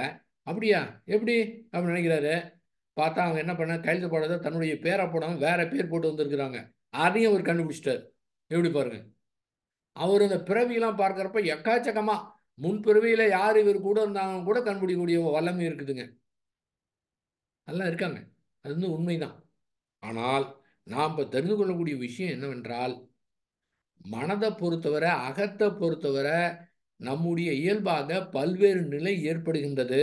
அதை வந்து சரி செய்வதற்கு முயற்சி செய்தோம் என்றால் நம்முடைய வாழ்நாள் முழுவதும் இந்த போராட்டத்திலே சரியாகவே போயிடுது. இதுக்கே நேரம் சரியாக போயிடுது. வேறு எதுவுமே செய்ய முடியாதுங்க. அப்போ மிக சாதாரணமான மிக புரிதல் வந்துவிட்டால் போதுமானது என்னவென்றால் அந்த வரக்கூடிய உணர்வுகளை நாம் சரி செய்ய தேவையில்லை. சரி செய்யல தேவையில்லை என்றால் அப்படியே சரி செய்ய தேவையில்லை என்பதை புரிந்து கொண்டு ஒரு முடிவு எடுத்து விட்டோம் என்றால் அது குறிப்பிட்ட காலகட்டத்தில் தானாகவே சரியாயிரும். குறிப்பிட்ட காலகட்டம் கூட இல்லை. அதனுடைய ஆயுள் வந்து அரை வினாடி தான். அரை வினாடியில் அது மறைஞ்சு போயிடுது இல்லைங்க அரை வினாடிங்கிற மாதிரி தெரியலைங்க. நான் வந்து எக்கச்சக்கமாக போராடிட்டு இருக்கேன். ரொம்ப நேரம் இருக்கிற மாதிரி இருக்குது ஏன் ரொம்ப நேரம் மாறினா அது திரும்ப திரும்ப நாம் நினைத்த காரணத்தினால. அது வந்தது போயிடுது. ஆனால் திரும்ப நாம் நினைத்த காரணத்தினால அது கண்டினியூ ஆகிட்டு இருக்கு இது வந்து ரெனியூல் பண்ணுது. அந்த முதல் தடவை ஏற்பட்ட இது வந்து மறைஞ்சிச்சுங்க அடுத்து வந்த துக்க உணர்வு என்ன? இதில் இன்னொரு விஷயம் தெரியுங்களா? இன்பம் மாறி வச்சுக்கலாம் மறந்துடுவோம் இன்பம் ஏற்படும் போது நம்ம மறந்து போயிடுவோம் எதுவுமே தோணாது. அப்படியே ஜாலியாக சுகமாக போயிட்டுருக்கோம். ஆனால் துன்பம் ஏற்பட்டதுன்னா அதனுடைய வலியும் வேதனையும் தன்னை அறியாமல் நம்ம ஈர்த்து விட காரணத்தினால அது நமக்கு பெரிய துன்பமாக இருக்குது. நல்லது நடந்தது இன்பம் நடந்துச்சுன்னா அது எவ்வளோ நேரம் இருந்தாலும் தெரியாது. சீக்கிரம் போன மாதிரி இருக்கும். ஆனால் துன்பம் வந்து கொஞ்ச நேரம் இருந்தால் கூட ரொம்ப நீண்ட காலம் இருக்கிற மாதிரி தோணும். ஏன்னு கேட்டிங்கன்னா அதை நம்ம வந்து அந்த வலியும் மனதில் ஏற்படக்கூடிய வலியும் வேதனையும் தன்னை அறியாமல் அதை ஈர்த்து விடுகிறது. அதான் வேற ஒன்றும் காரணம் கிடையாது. அப்போ அகத்தை பொறுத்தவரை எதையுமே நம்ம பிடித்து வைக்க தேவையில்லை. எதுவுமே பிடித்து வைக்க வேணாம். அப்படின்னு ஃப்ரீயாக விட்டுட்டா தானாகவே சரியாக போயிடும். ஒரு உயர்ந்த நிலை இருக்குதுன்னு நம்ம கற்பனை செய்து கொண்டு அதுக்கு முயற்சி செய்தோம் என்றால் முயற்சி செய்து கொண்டே இருக்க வேண்டியதான் அப்படியே முயற்சி செய்து அந்த நாம் கற்பனையாக நினைத்து அந்த அனுபவம் கிடைத்ததுக்கு பிறகுதான் தெரியும் இந்த அனுபவம் அது கிடையாது அப்படின்னு. இன்னும் அடுத்ததுக்கு இன்னும் முயற்சி செய்து அடுத்தது பண்ணால் இதை விட அற்புதமான அனுபவங்கள் கிடைக்கும். அது கிடைச்சதுக்கு பிறகுதான் தெரியும் இது அது கிடையாது அப்படின்னு தொடர்ந்து நீங்க வந்து போய்கிட்டே இருக்க வேண்டியதான் ஏன்? ஏன்னா உயர்ந்த நிலை என்பது எதுவுமே கிடையாது. உயர்ந்த நிலை என்பது உண்மையாகவே நாம் இப்போது இருக்கக்கூடிய நிலைதான் உயர்ந்த நிலை. அதுவும் இந்த மாதிரி ஒரு அமைப்புல இருக்கிறோம் அப்படின்னா நிச்சயமா இதுதான் உயர்ந்த நிலை. எப்படிங்க ஒத்துக்கிறது? நீங்க ஒத்துக்கிட்டாலும் ஒத்துக்காட்டி உண்மை இதுதாங்க. ஏன்? ஏன்னு கேட்டீங்கன்னா நாம் வந்து இதுவரை இப்போ நமக்கு இதுவரை இதுவரை என்ன தெரிந்திருக்கின்றதோ இதுதான் உயர்ந்த நிலை. அப்படின்னு ஒரு முடிவு எடுத்து பாருங்க. அதன் பிறகு இந்த மனம் வேற டைமென்ஷனுக்கு போயிருங்க. வேற நிலைக்கு போயிடும் நிச்சயமாக. ஆனால் இது இல்லாமல் நாம் இல்லை. அது வேணும் இது வேணும் அப்படின்னு நீங்கள் வந்து அந்த உயர்ந்த இந்த அற்புதமான அபூர்வமான அனுபவத்துக்கு நாம் முயற்சி செய்தோம் என்றால் அதுக்கு ஒரு குறிப்பிட்ட காலகட்டம் தேவைப்படும். அதை அடையலாம். ஆனால் அடைஞ்சதுக்கு பிறகு தெரியும். இந்த ஞானம் அடைந்தது எப்படி தெரிந்து கொள்வது அப்படின்னா மகரிஷி அவங்க சொல்லுவாங்க இதெல்லாம் வேற யாருக்கிட்ட போய் கேட்க தேவையில்ல வேற யார்கிட்ட போய் கன்ஃபார்ம் பண்ண தேவையில்லை. ஏன்னு கேட்டிங்கன்னா அது அதுவானால் அதுவே சொல்லுவாங்க ஆக அந்த அழிஞ்சா தெரிஞ்சிடும். வேற யார்கிட்ட கேட்கவே தேவையில்ல. புரிஞ்சுச்சுங்க அது வர நீங்கள் என்ன பண்ணாலும் என்ன அனுபவம் கிடைத்தாலும் அது சொல்லும். இது கிடையாதுப்பா இன்னும் போகணும்ப்பா இன்னும் ரொம்ப தூரம் போகிற மாதிரி இருக்கும். இந்த அனுபவங்கள் மேலே ஆசை வச்சோம்னா ரொம்ப தூரம் போகிற மாதிரி தெரியும். சமயத்தில் அந்த அனுபவங்கள் கிடைச்சது பிறகு ரொம்ப பக்கமாக இருக்கிற மாதிரி தெரியும்.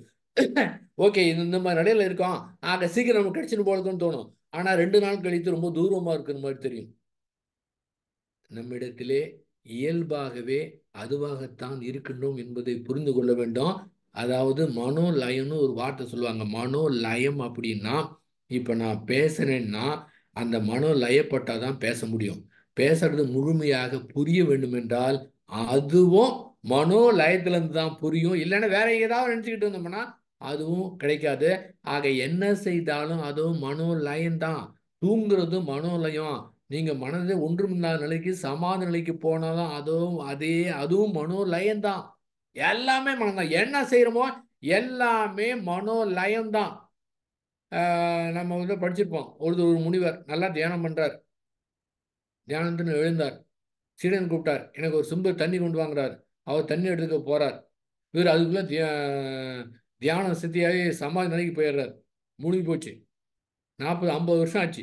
சீடனே போயிடுச்சு. அங்கே இயற்கை இயற்கையை மாறி சூழ்நிலையை மாறிடுச்சு. அப்போதான் அவர் எழுந்து வரார். எழுந்துறாரு. எங்க நான் தண்ணி கட்டின எங்கேங்கிறார்? என்ன?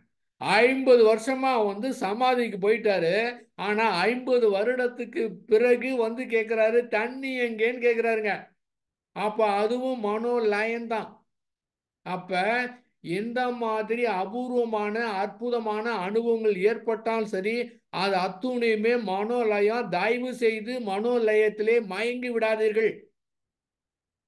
மயங்கிட்டேன்னா என்ன தெரியுங்களா? மனோலயம் ஆயிடுச்சுன்னா அது மனோலயங்கிறது என்னன்னு கேட்டிங்கன்னா ஒரு உறைந்த நிலை. உறைந்த நிலைன்னா தண்ணீர் இருக்கு. அதை வந்து எந்த பாத்திரத்தில் வேணால் விட்டோம்னு வச்சுக்கங்களேன். அந்த பாத்திரத்துடைய வடிவம் வந்து தண்ணீர் எடுத்துரும். தண்ணீருக்கு வடிவம் கிடையாது. எந்த பாத்திரம் இருக்கோ இப்போ டம்ளர்னா டம்ளராக வடிவம் எடுக்குது. குடத்துலனா குடத்துல வடிவம் எடுத்துருது. இதையே தண்ணீரே நீங்கள் ஒரு பாட்டில் ஊற்றி ஃப்ரிட்ஜில் வச்சீங்கன்னா வந்து பனிக்கட்டியாக மாறிடுது. இந்த பாட்டில் இருக்கிற பனிக்கட்டியை வேறு இடத்துல இப்போ ஊற்ற முடியுமானா ஊற்ற முடியாது. ஏன்னா இங்கே வந்து க கலைஞ்சிருச்சு.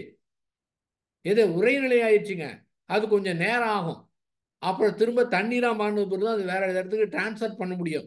அதே போல் நாம எங்கேயாவது தேங்கி நின்று விட்டோம் என்றால் இன்பத்தையோ துன்பத்தையோ பிடித்து வைத்து தேங்கி விட்டோம் என்றால் அது உரைநிலையாக போய்விடும். இன்பம் இருக்குதுன்னா இந்த இன்பத்தை நீட்டிக்க வேணும். அதுக்கு என்ன பண்ணலாம்? அப்படின்னு அந்த இன்பத்தை பிடித்து வைத்தோம்னா இந்த இடத்துல தேக்கம் அடைந்து விடுகின்றது. அதே போல தாங்க முடியாத ஒரு துயரம் ஏற்பட்டது. இந்த துயரத்தை உடனடியாக நீக்கணும். இருந்து விடுபடணும். அதுக்கு என்ன முயற்சி செய்யலாம் அப்படின்னு ஈடுபட்டாலும் அதுவும் சிக்கலை ஏற்படுத்தும். அப்போ யாரோ ஒருத்தர் இன்பத்திலையும் துன்பத்திலையும் இந்த மாதிரி நீடித்து இருந்து பிடித்து வைத்து அந்த நிலையில் இருந்தால் உரை நிலைக்கு போயிடுவாங்க அந்த உரை நிலை இருக்கும்போது அறிவு செயல்படாது. இது எல்லாமே மனோ லயம்தான் அப்போ எத்தனையுமே நம்ம மனோலயத்தை ஈடுபடுறோம் ஆக மனோலயம் வந்து அது மோசமானு சொல்ல முடியாது. ஏன்னா எல்லாமே மனோலயத்தின் காரணமாக தான் நடக்குது. இன்னொரு வார்த்தை இருக்கு மனோலய நாசம்னு ஒன்று இருக்கு. அது என்னன்னா பிடிச்சு வைக்காம அப்படியே விட்டுறது. எப்படி? மனதை வந்து ஒரு ஆறு போல ஓட விடுது. ஓட விடுதுன்னா வந்து நம்ம அதுக்கு வேலை கிடையாது. ஏற்கனவே ஆறு போல ஓடிட்டு இருக்கு. ஆறு மாதிரி மட்டும் இல்லைங்க. நீங்க பாருங்க காலையில கண்ணை திறந்தோம்னா எண்ணங்கள் வந்துகிட்டே இருக்குது. தூங்குற வர எத்தனை விதமான எண்ணங்கள் தொடர்ந்து வந்துகிட்டு இருக்குதுங்க. ஆறுனா மெதுவாக போற மாதிரி தெரியும். மின்னல் ஆறுன்னு வச்சுக்கோங்க. நம்முடைய எண்ணங்கள் மின்னல் ஆறு. அந்த மாதிரி மின்னல் மாதிரி தொடர்ந்து எக்காச்சக்கமாக வந்துக்கிட்டே போய்கிட்டே இருக்குதுங்க. இதில் போய் சில இதை மட்டும் நாம் பிடித்து வைத்தோம்னா நிலைமை என்ன ஆகுங்க? இதுதாங்க இப்போ உலகத்து மக்கள் அத்தனை பேருமே பெரிய வந்து சிக்கல் என்ன பண்ணிடுறாங்க தன்னுடைய மனதை தான் டார்ச்சர் பண்ணுறாங்க மனம் வந்து இவங்கள டார்ச்சர் பண்ணலை. இவங்க போய் மனதை டார்ச்சர் பண்ணுறாங்க அதனால சிக்கிக்கிட்டு ரொம்ப பிரச்சனையாக இருக்குதுங்க. அத்துணைக்கும் ஒரே தீர்வு என்னன்னா எதையுமே பிடிச்சு வைக்காதீங்க. பிடிச்சு வைக்காம இருக்கு என்னங்க எப்படிங்க விடுறது? கேள்வி கேட்கக்கூடாது. எப்படி விடுறது? நீங்கள் ஒன்றுமே பண்ண வேணாங்க. எதுவுமே நீங்கள் செய்யவே தேவையில்லை. தானாகவே குறிப்பிட்டதில் சரியாயிரும். அந்த மனதில் ஏற்படக்கூடிய உணர்வுகள்லாம் சீரமைக்கக்கூடிய ஒரு தன்மை இயற்கை தன்னகத்தே வைத்திருக்கின்றது. அகத்தை பொறுத்தவரை நல்லது கெட்டது உயர்ந்தது தாழ்ந்தது தெய்வீகமானது சாக்கடையானது அப்படிங்கிறது எதுவுமே கிடையாது. புறத்தை பொறுத்தவரை நல்லது உண்டு கெட்டது உண்டு நல்லவங்க உண்டு கெட்டவங்க உண்டு உயர்ந்தது உண்டு தாழ்ந்தது உண்டு தெய்வீகமானவங்க உண்டு எல்லாமே உண்டு புறத்தை பொறுத்தவரை. அகத்தை பொறுத்தவரை எல்லாமே சமமாக தான் இருக்கின்றது. ஆகவே நாம செய்யக்கூடிய செயலை தான் மிக சிறப்பாக செய்யணுமே தவிர ஒரு நியாய தர்மத்தோடு நடக்கணுமே தவிர அகத்தை பொருள் எப்படி இருந்தாலும் கவலைப்படவே தேவையில்லை. ஏங்க தீங்கான ஒரு எண்ணம் ஏற்பட்டுருச்சு. அதை வந்து செயல் செயல்படுத்திட்டுனா எப்படி அதை சரி பண்ணக்கூடாதா? சரி பண்ண தேவையில்லையா? ஏனென்றால் அந்த மாதிரி தீங்கான உணர்வுகளை சரிப்படுத்துறதுக்கு முயற்சி செய்தோம் என்றால் அந்த தீங்கான குணம் இன்னும் ஸ்ட்ரென்த் ஆயிரும்.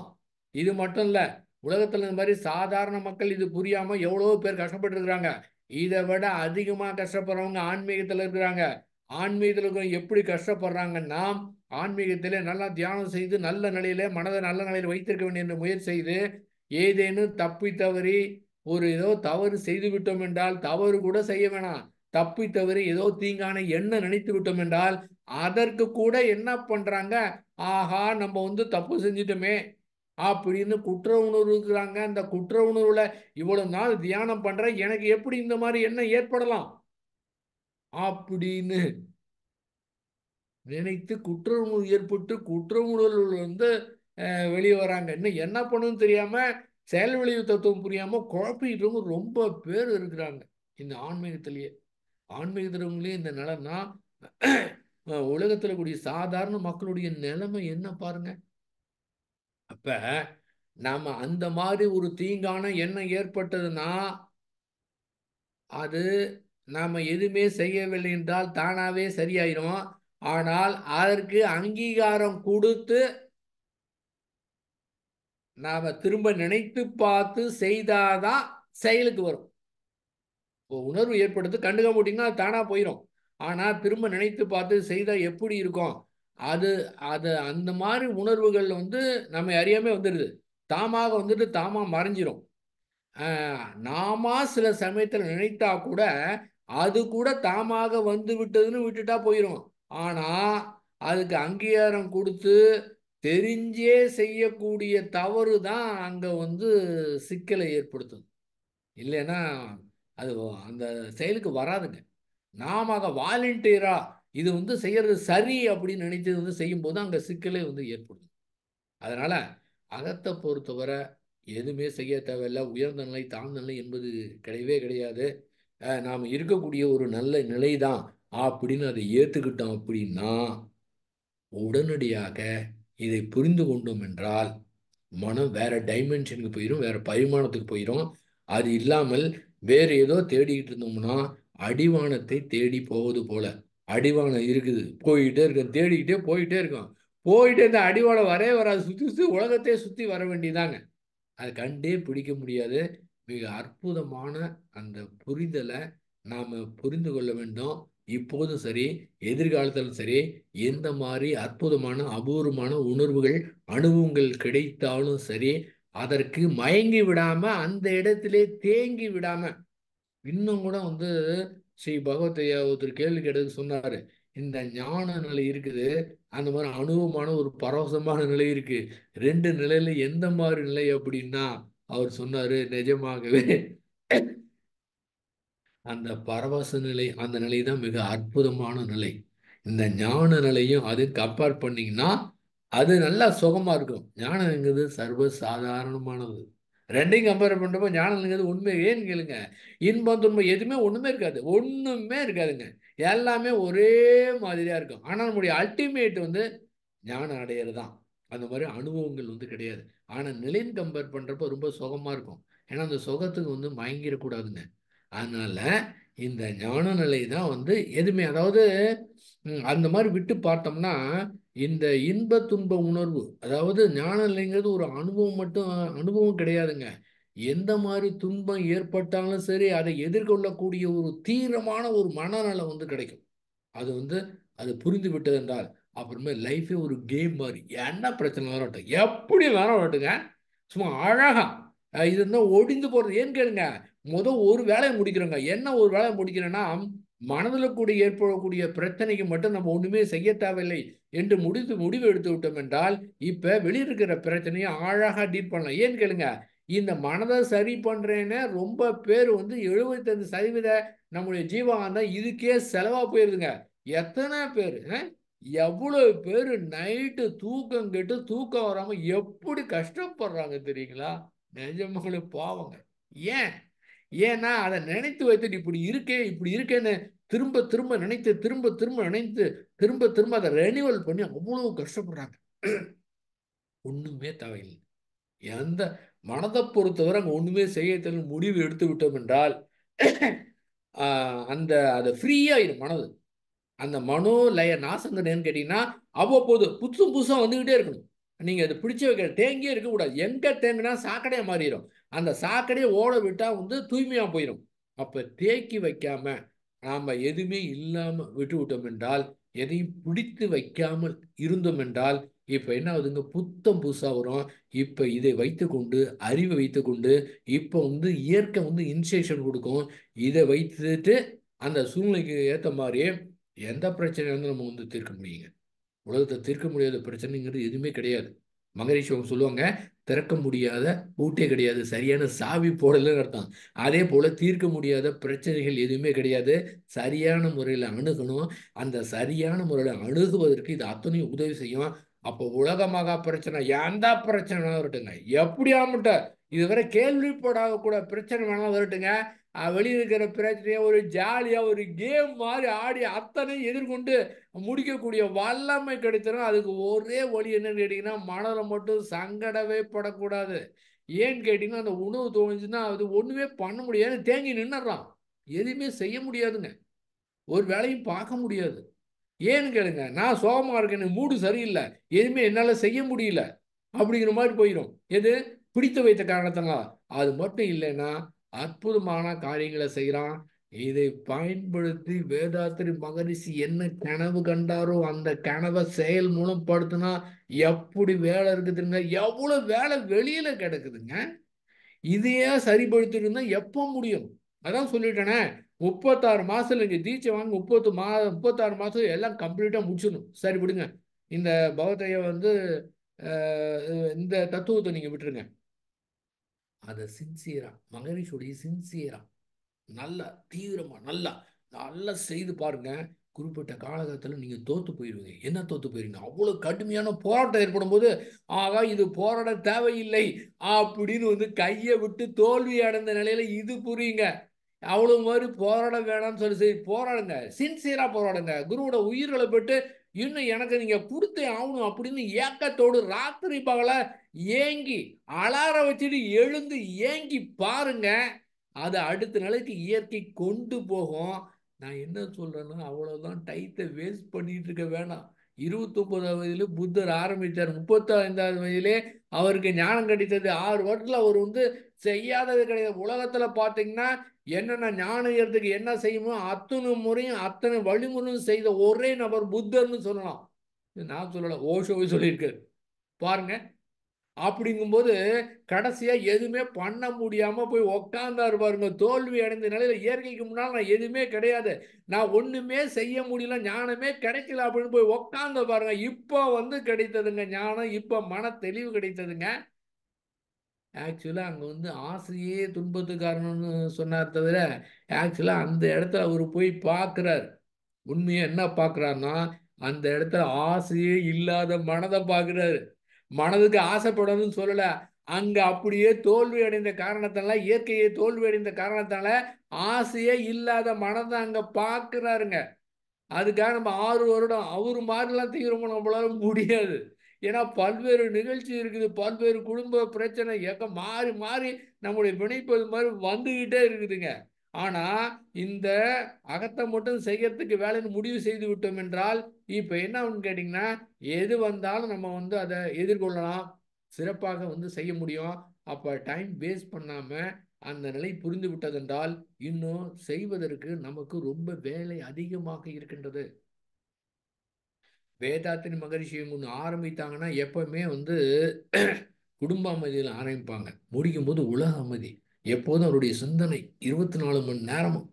கனவுல கூட அந்த உலகம் எப்படி வரணும் எப்படி என்ன மாதிரி வரணும் அப்படின்னு தான் எப்போதும் அதே நிலப்பில் இருப்பாங்க. பாருங்க இந்த காசாவில் இஸ்ரேலுக்கு ஹமாஸ் படையினருக்கு நடந்த போற அந்த இதில் அந்த ஹமாஸில் வந்து ஒரு நூறு பேர் வந்து தன்னுடைய குடும்பத்துக்காக உணவு வாங்கிக்கிட்டு இருக்கிறாங்க. அங்கே நிற்கிறவங்கள போய் தாக்குதல் நினைத்து நூறு பேர் இறந்துட்டாங்க.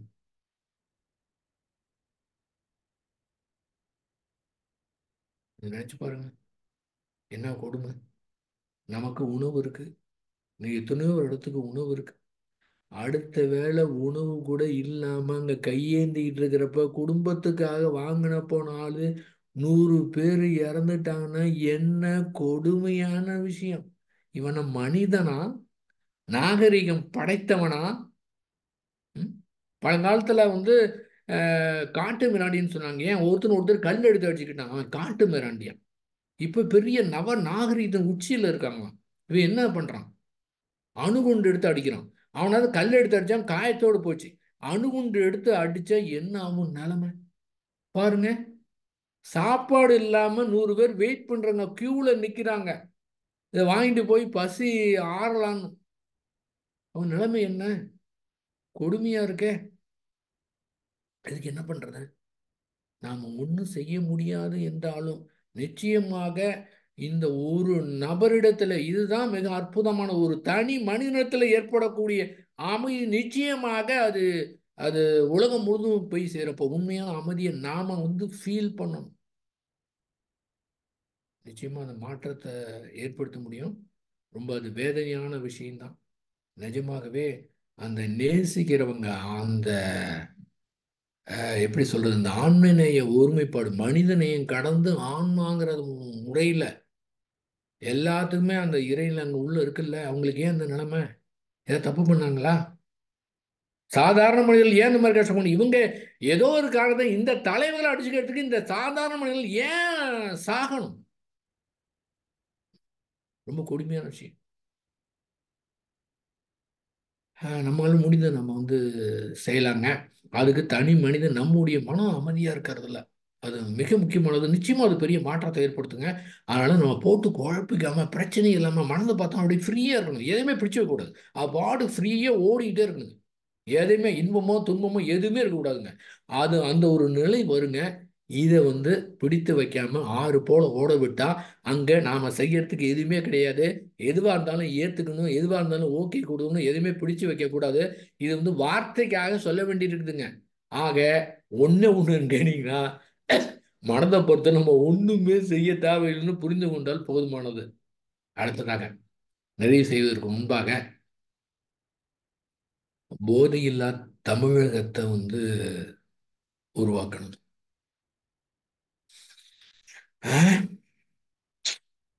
இளைஞர்லாம் எப்படி இருக்காங்க? இந்த இளைஞர்லாம் வந்து இந்த மாரிஸ் தத்துவத்தை கற்றுக்கிட்டு இந்த போயிட்டு இது மாதிரி பண்ணாங்கன்னா எப்படி இருக்கும்? இது உங்களுக்கு தெரியுதா தெரியலையா? இந்த மாதிரி ஒருத்தர் வேதாத்தர் மகர்ஷி இங்கே தமிழ்நாடு இருந்தாருன்னு கூட ரொம்ப பேருக்கு தெரியல. போய் டாஸ்மாக்லன்னு தன்னுடைய உடலையும் கெடுத்து தன்னுடைய குடும்பத்தையும் கெடுத்துட்டு இது என்ன எங்கேயாவது அங்கே இந்த மாதிரி தமிழ்நாட்டில் இந்த மாதிரி போயிட்டு இருக்குது யாராவது யாரோ பேசுறாங்களே யாருக்காவது பொறுப்பு யாருக்காவது இருக்கா? எப்படி அவங்கள வந்து கொண்டு வருது எவ்வளோ எத்தனையோ அந்த காலம் அந்த செயல் விளைவு தத்துவத்தில் குறைகளுக்கு காரணமும் பழைய சமுதாயம் மாதிரி நம்ம குறை சொல்லி ஒன்றும் அர்த்தம் கிடையாது. இப்போ என்ன பண்ணுறது இதை விட ஏன்னா இது இருக்க இருக்க அது அதிகமாகிட்டு எதை பிடிச்சி வைக்கிறாங்களோ?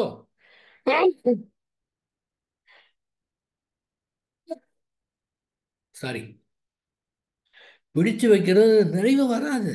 ஏற்கனவே நிறைவா இருக்கிறீங்க. என்ன பிடிச்சாலும் நிறைவு வராது. என்னது? அடுத்தது போதைப்பொருள். டாஸ்மாகலாம் போதைப்பொருள். எத்தனையோ கோடி ரூபா கூட இப்போ சமீபத்தில் பிடிச்சிருக்கிறாங்க. கடவுளே. என்ன பண்ணலாம்? வேதனையாக தான் இருக்குது. வேதனையா இருந்தாலும் நம்ம அதையும் சகித்தானு ஏன்? அந்த வேதனையும் பயன்படுத்தணுங்க வேதனை இந்த மாதிரி ஒரு தனி நபருக்கு யாராவது வேதாத்திரி மகர்ஷி உண்மை சீடனுக்கு இந்த மாதிரி வேதனை ஏற்படணும். அந்த வேதனை எதுக்கு இயற்கை கொடுக்குது? இந்த வேதனையை பயன்படுத்தணும். இந்த வேதனை இருக்கக்கூடாதுன்னு முயற்சி பண்ணக்கூடாது. இந்த வேதனையை பயன்படுத்தி உலகத்துக்கு என்ன செய்யணும்? அப்படி இந்த வேதனையை பயன்படுத்தி மக்களுக்கு ஏதாவது செய்யணுங்க. இந்த வேதனையே இருக்கக்கூடாது. நான் மட்டும் அப்படியே வேதனையெல்லாம் அப்படியே சுகமாக ஜாலியாக இருக்குன்னு நினைக்கக்கூடாது. அந்த வேதனை கொடுத்ததே அந்த உணர்வு கொடுத்ததே இதை விட்டுட்டு அது வேதனை இருந்துட்டு போகட்டும். அதை அப்படியே விட்டுட்டு இதை பயன்படுத்தி இந்த இயற்கை இயற்கை இந்த வேதனையை கொடுத்தது? உலகத்து மக்களுக்கு என்ன செய்யலாம்? அந்த மாதிரி உணர்வோடு வெளியில செயலை வந்து பண்ணணும். இல்லை என் வேதனை படக்கூடாது அப்படின்னு நினைக்கக்கூடாது. இது மாதிரி எத்தனையோ பேர் உலக மக்கள் உடைய வேதனைலாம் பெரிய குரு வேதாந்த மகர்ஷி போன்றவங்க நினைத்ததுனால தான் இந்த மாதிரி மாற்றத்தை ஏற்படுத்துறதுக்கு முயற்சியை பண்ணாங்க. ஆகவே அந்த முறையில் இன்னைக்கு என்ன வந்ததோ சொல்லியாச்சு. அவ்வளோதாங்க அதை புரிந்து கொள்ளணும். திரும்ப சொல்கிறது என்ன மாதிரி எத்தனை முறை கூப்பிட்டாலும் சரி இனிமேல் எங்கே கூப்பிட்டாலும் சரி ஒரே ஒன்று தான் என்னன்னா அகத்தை பொறுத்த நம்ம செய்யறதுக்கு வேலை இல்லை. அப்படின்னு க்ளோஸ் பண்ணிட்டு ஆன்மீகத்தை க்ளோஸ் பண்ணிட்டு அழகாக வெளியில நமக்கு நம்முடைய குடும்பத்துக்கு நம்முடைய குடும்ப உறுப்பினர்களுக்கு இன்னும் என்ன செய்யலாம்? எப்படி செய்யலாம்? குழந்தைகள் எப்படி வளர்க்கலாம்? இன்னும் எப்படி படிப்பை கொடுக்கலாம்? இல்லைங்க என் ஒய்ஃப் எல்லாம் பார்த்துக்கோங்க குழந்தைகள் பற்றி எனக்கு கவலையே படுறதில்ல. அப்படிலாம் இல்லாமல் இன்னும் கேர் எடுத்து என்னெல்லாம் பண்ண முடியும்னு இதை வந்து செய்தாலே மாற்றத்தை ஏற்படுத்த முடியும் என்று கூறி வாய்ப்பளித்த என்னை பேச வைத்த உங்கள் அத்துணை பேருக்கும் நன்றி கூறி அமைகின்றேன். வாழ்க வையகம் வாழ்க வையகம் வாழ்க வளமுடன்.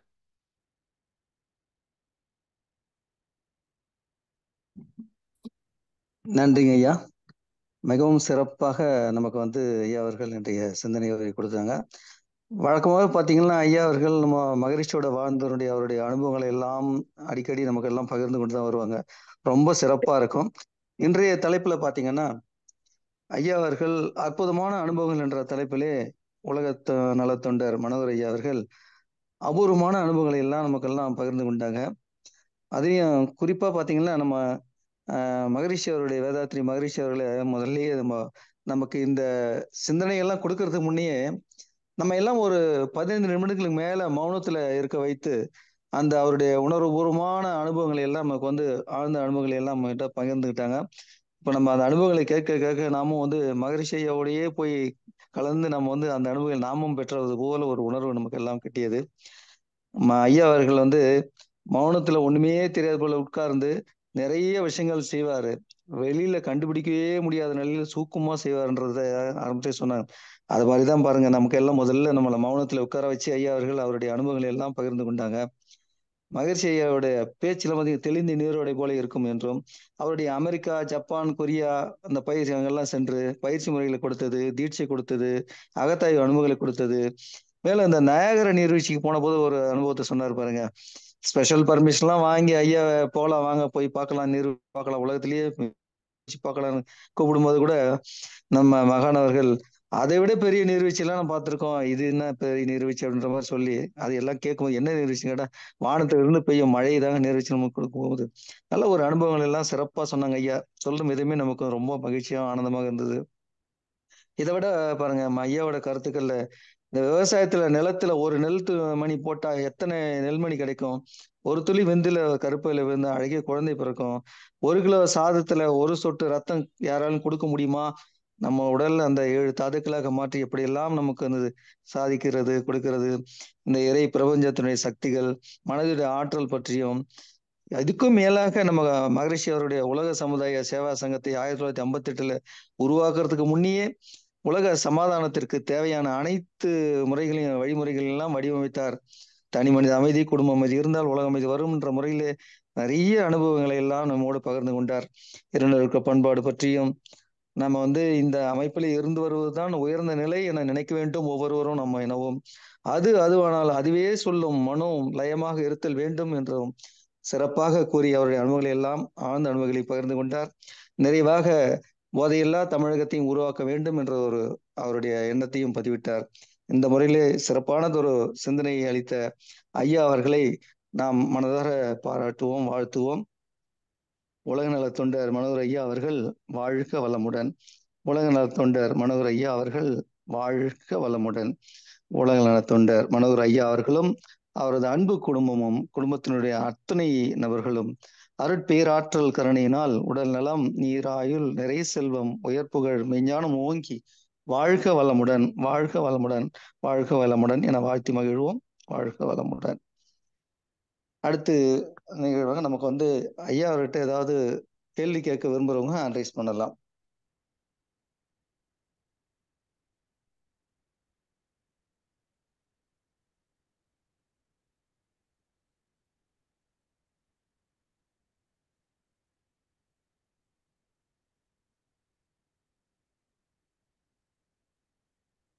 ஐயா அவர்கள்ட்ட கேள்வி கேட்க விரும்புபவர்கள் அன்றை செய்யலாம். வாழ்க வளமுடன்.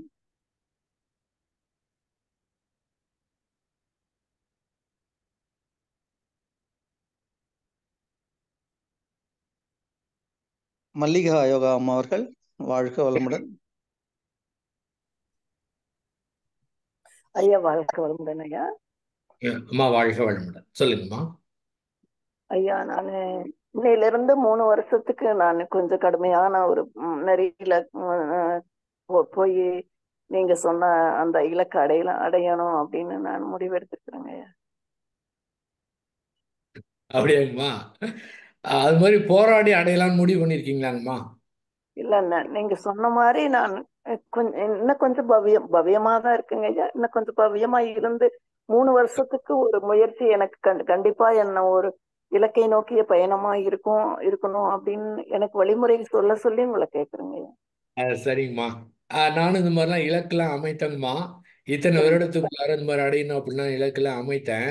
ஆனா இப்ப சொல்ல வேண்டிய விஷயமே என்ன அப்படின்னா நீங்க இந்த மாதிரி ஏங்கி கடுமையான போராட்டம் நடத்தி அந்த மாதிரி கடுமையான போராட்டம் நடத்தி கூட கடைசியா நீங்க என்ன கண்டுபிடிப்பீங்க அப்படின்னா உண்மையாக கடுமையாக போராடி கடைசியா என்ன கண்டுபிடிப்பீங்க அப்படின்னா இதுமே வந்து நம்மளால போராட முடியாது என்னால முடியாத விஷயம் அப்படின்னு தோல் புத்தர் மாதிரி தோல்வியை ஒத்துக்கொண்டதுக்கு பிறகுதான் உங்களுக்கு அந்த அந்த நம்ம என்ன நிலையில இருக்கோம் அப்படிங்கிறது புரியுமா? என்னன்னா அகத்தை பொறுத்தவரை எந்த விதமான போராட்டமும் கூடாது. அதை எதிர்த்து போராடணும்னா அது ஜெயிக்கவே முடியாது. எத்தனை பிறவி எடுத்தாலும் சரி எந்த எவ்வளவு காலகட்டம் எடுத்தாலும் சரி அதை வந்து சரி செய்யவே முடியாது. ஏனென்றால் நம்முடைய இயல்பான நிலையே வந்து ஞான நிலை இருக்கிற நிலையே ஒரு நல்ல நிலை. அப்படின்னு நம்ம புரிந்து கொண்டோம் என்றால் உடனடியாக இந்த நிமிஷம் இது வந்து ஒரு மேடை போச்சு வேற எது மாதிரி கிடையாதுங்க. அந்த அபூர்வமான அந்த அற்புதமான அனுபவம்லாம் கிடையாதுங்க. அந்த மனம் வந்து புரிந்து கொள்வதை பொறுத்து இருக்குதுங்க. அந்த மனதில் மட்டும் நாம ஏன்னு கேட்டிங்கன்னா அதை வந்து சரி பண்ணக்கூடாது. ஏனென்றால் அந்த இயற்கை அந்த மனதை சரி பண்ணக்கூடிய தன்மை தன்னகத்தே வைத்திருக்கின்றது. அப்படின்னு வந்து புரிந்து கொண்டாலே சரியா போயிருங்க. நீங்க மூணு வருஷம் போராடாலும் சரி பத்து வருஷம் போராடாலும் சரி ஆனா கடைசியா அதுக்கு பிறகுதான் அதை கண்டுபிடிப்பீங்க. முன்னாலே இதை தெரிஞ்சுக்கிட்டோம்னா மிக சிறப்பா இருக்கலாம். ஆனா முதல் தடவை புரியவில்லை என்றால் கூட இதை மட்டும் நீங்க ஞாபகம் வச்சுக்கோங்க. எப்ப உங்களுடைய மனதில் பல்வேறு உணர்வுகள் வருத்தம் பயம் கோபம் கவலை பல்வேறு சிக்கல் எந்த மாதிரி மனதை பொறுத்தவரை பிரச்சனை ஏற்பட்டா அதை நான் சரி செய்வதற்கு நான் வந்து முயற்சியே செய்ய மாட்டேன். ஆனா அந்த உணர் வரக்கூடிய உணர்வை வைத்துட்டு புறத்தில் ஏதாவது செய்யணும் அப்படின்னா செய்வேன். அகத்தை பொறுத்த நான் எதுவும் செய்ய மாட்டேன். அப்படின்னு தேவைன்னா பயன்படுத்திக்கலாம். இல்லைன்னா அதை அப்படியே விட்டுடலாம் அந்த மாதிரி அதை புரிஞ்சுக்குவது புரிஞ்சுக்கணும் அவ்வளோதான் இது ஒரு தடவை புரியலன்னா திரும்ப நீங்கள் வந்து கேட்டு பாருங்கள் புரியுதான்னு பாருங்கள் இதுக்காக நீங்கள் மூணு வருஷம் இலக்காம வைத்தீங்கன்னா சமயத்தில் மூணு வருஷத்தில் முடியுமான்னு தெரியும். ஏன்னா அந்த மாதிரி போராடணும். எதுக்கு அவ்வளோ கஷ்டப்படணும்? அது போராடி கடைசியாக நீங்கள் இதுதான் கண்டுபிடிக்க போறீங்க. அதுக்கு முன்னாலேயே புரிந்து கொண்டு விட்டீர்கள் என்றால் அந்த அந்த மகரிஷி அவங்க சொன்னேன் அப்போ மகரிஷி அவங்களே அந்த இயற்கையை வந்து புரிந்து கொள்வதற்கு பிரம்ம ஞானங்கிறது கொடுத்துட்டாங்க. பிரம்ம ஞானிங்கிறதையே அவரும் டிக்ளேர் பண்ணிட்டாரு. அப்படிங்கிறப்ப நம்ம அந்த நிலையில் தான் இருக்கங்கிறத நாம் வந்து அவர் சொன்னால் கூட நம்மளால் நம்ப முடியல. ஏன்னு கேட்டிங்கன்னா நம்முடைய மனது நம்முடைய உணர்வு நமக்கு மட்டும் தான் தெரியும். அதை வச்சுக்கிட்டு நம்ம வந்து சரியில்லைன்னு நினைக்கிறோம். அப்படி கிடையாதுங்கம்மா. அதனால் வந்து புரிந்து கொண்டால் போதுமானது. பரவாயில்ல இப்போ பொருளைனா கூட திரும்ப நீங்கள் திரும்ப கேளுங்க. திரும்ப வந்து இதை மட்டும் ஸ்ட்ராங்காக நினைத்துக்கிட்டு மனதோடு மட்டும் போராடாமல் இருங்க. நம்முடைய நமக்கு நாமே முரண்படாமல் இருங்க.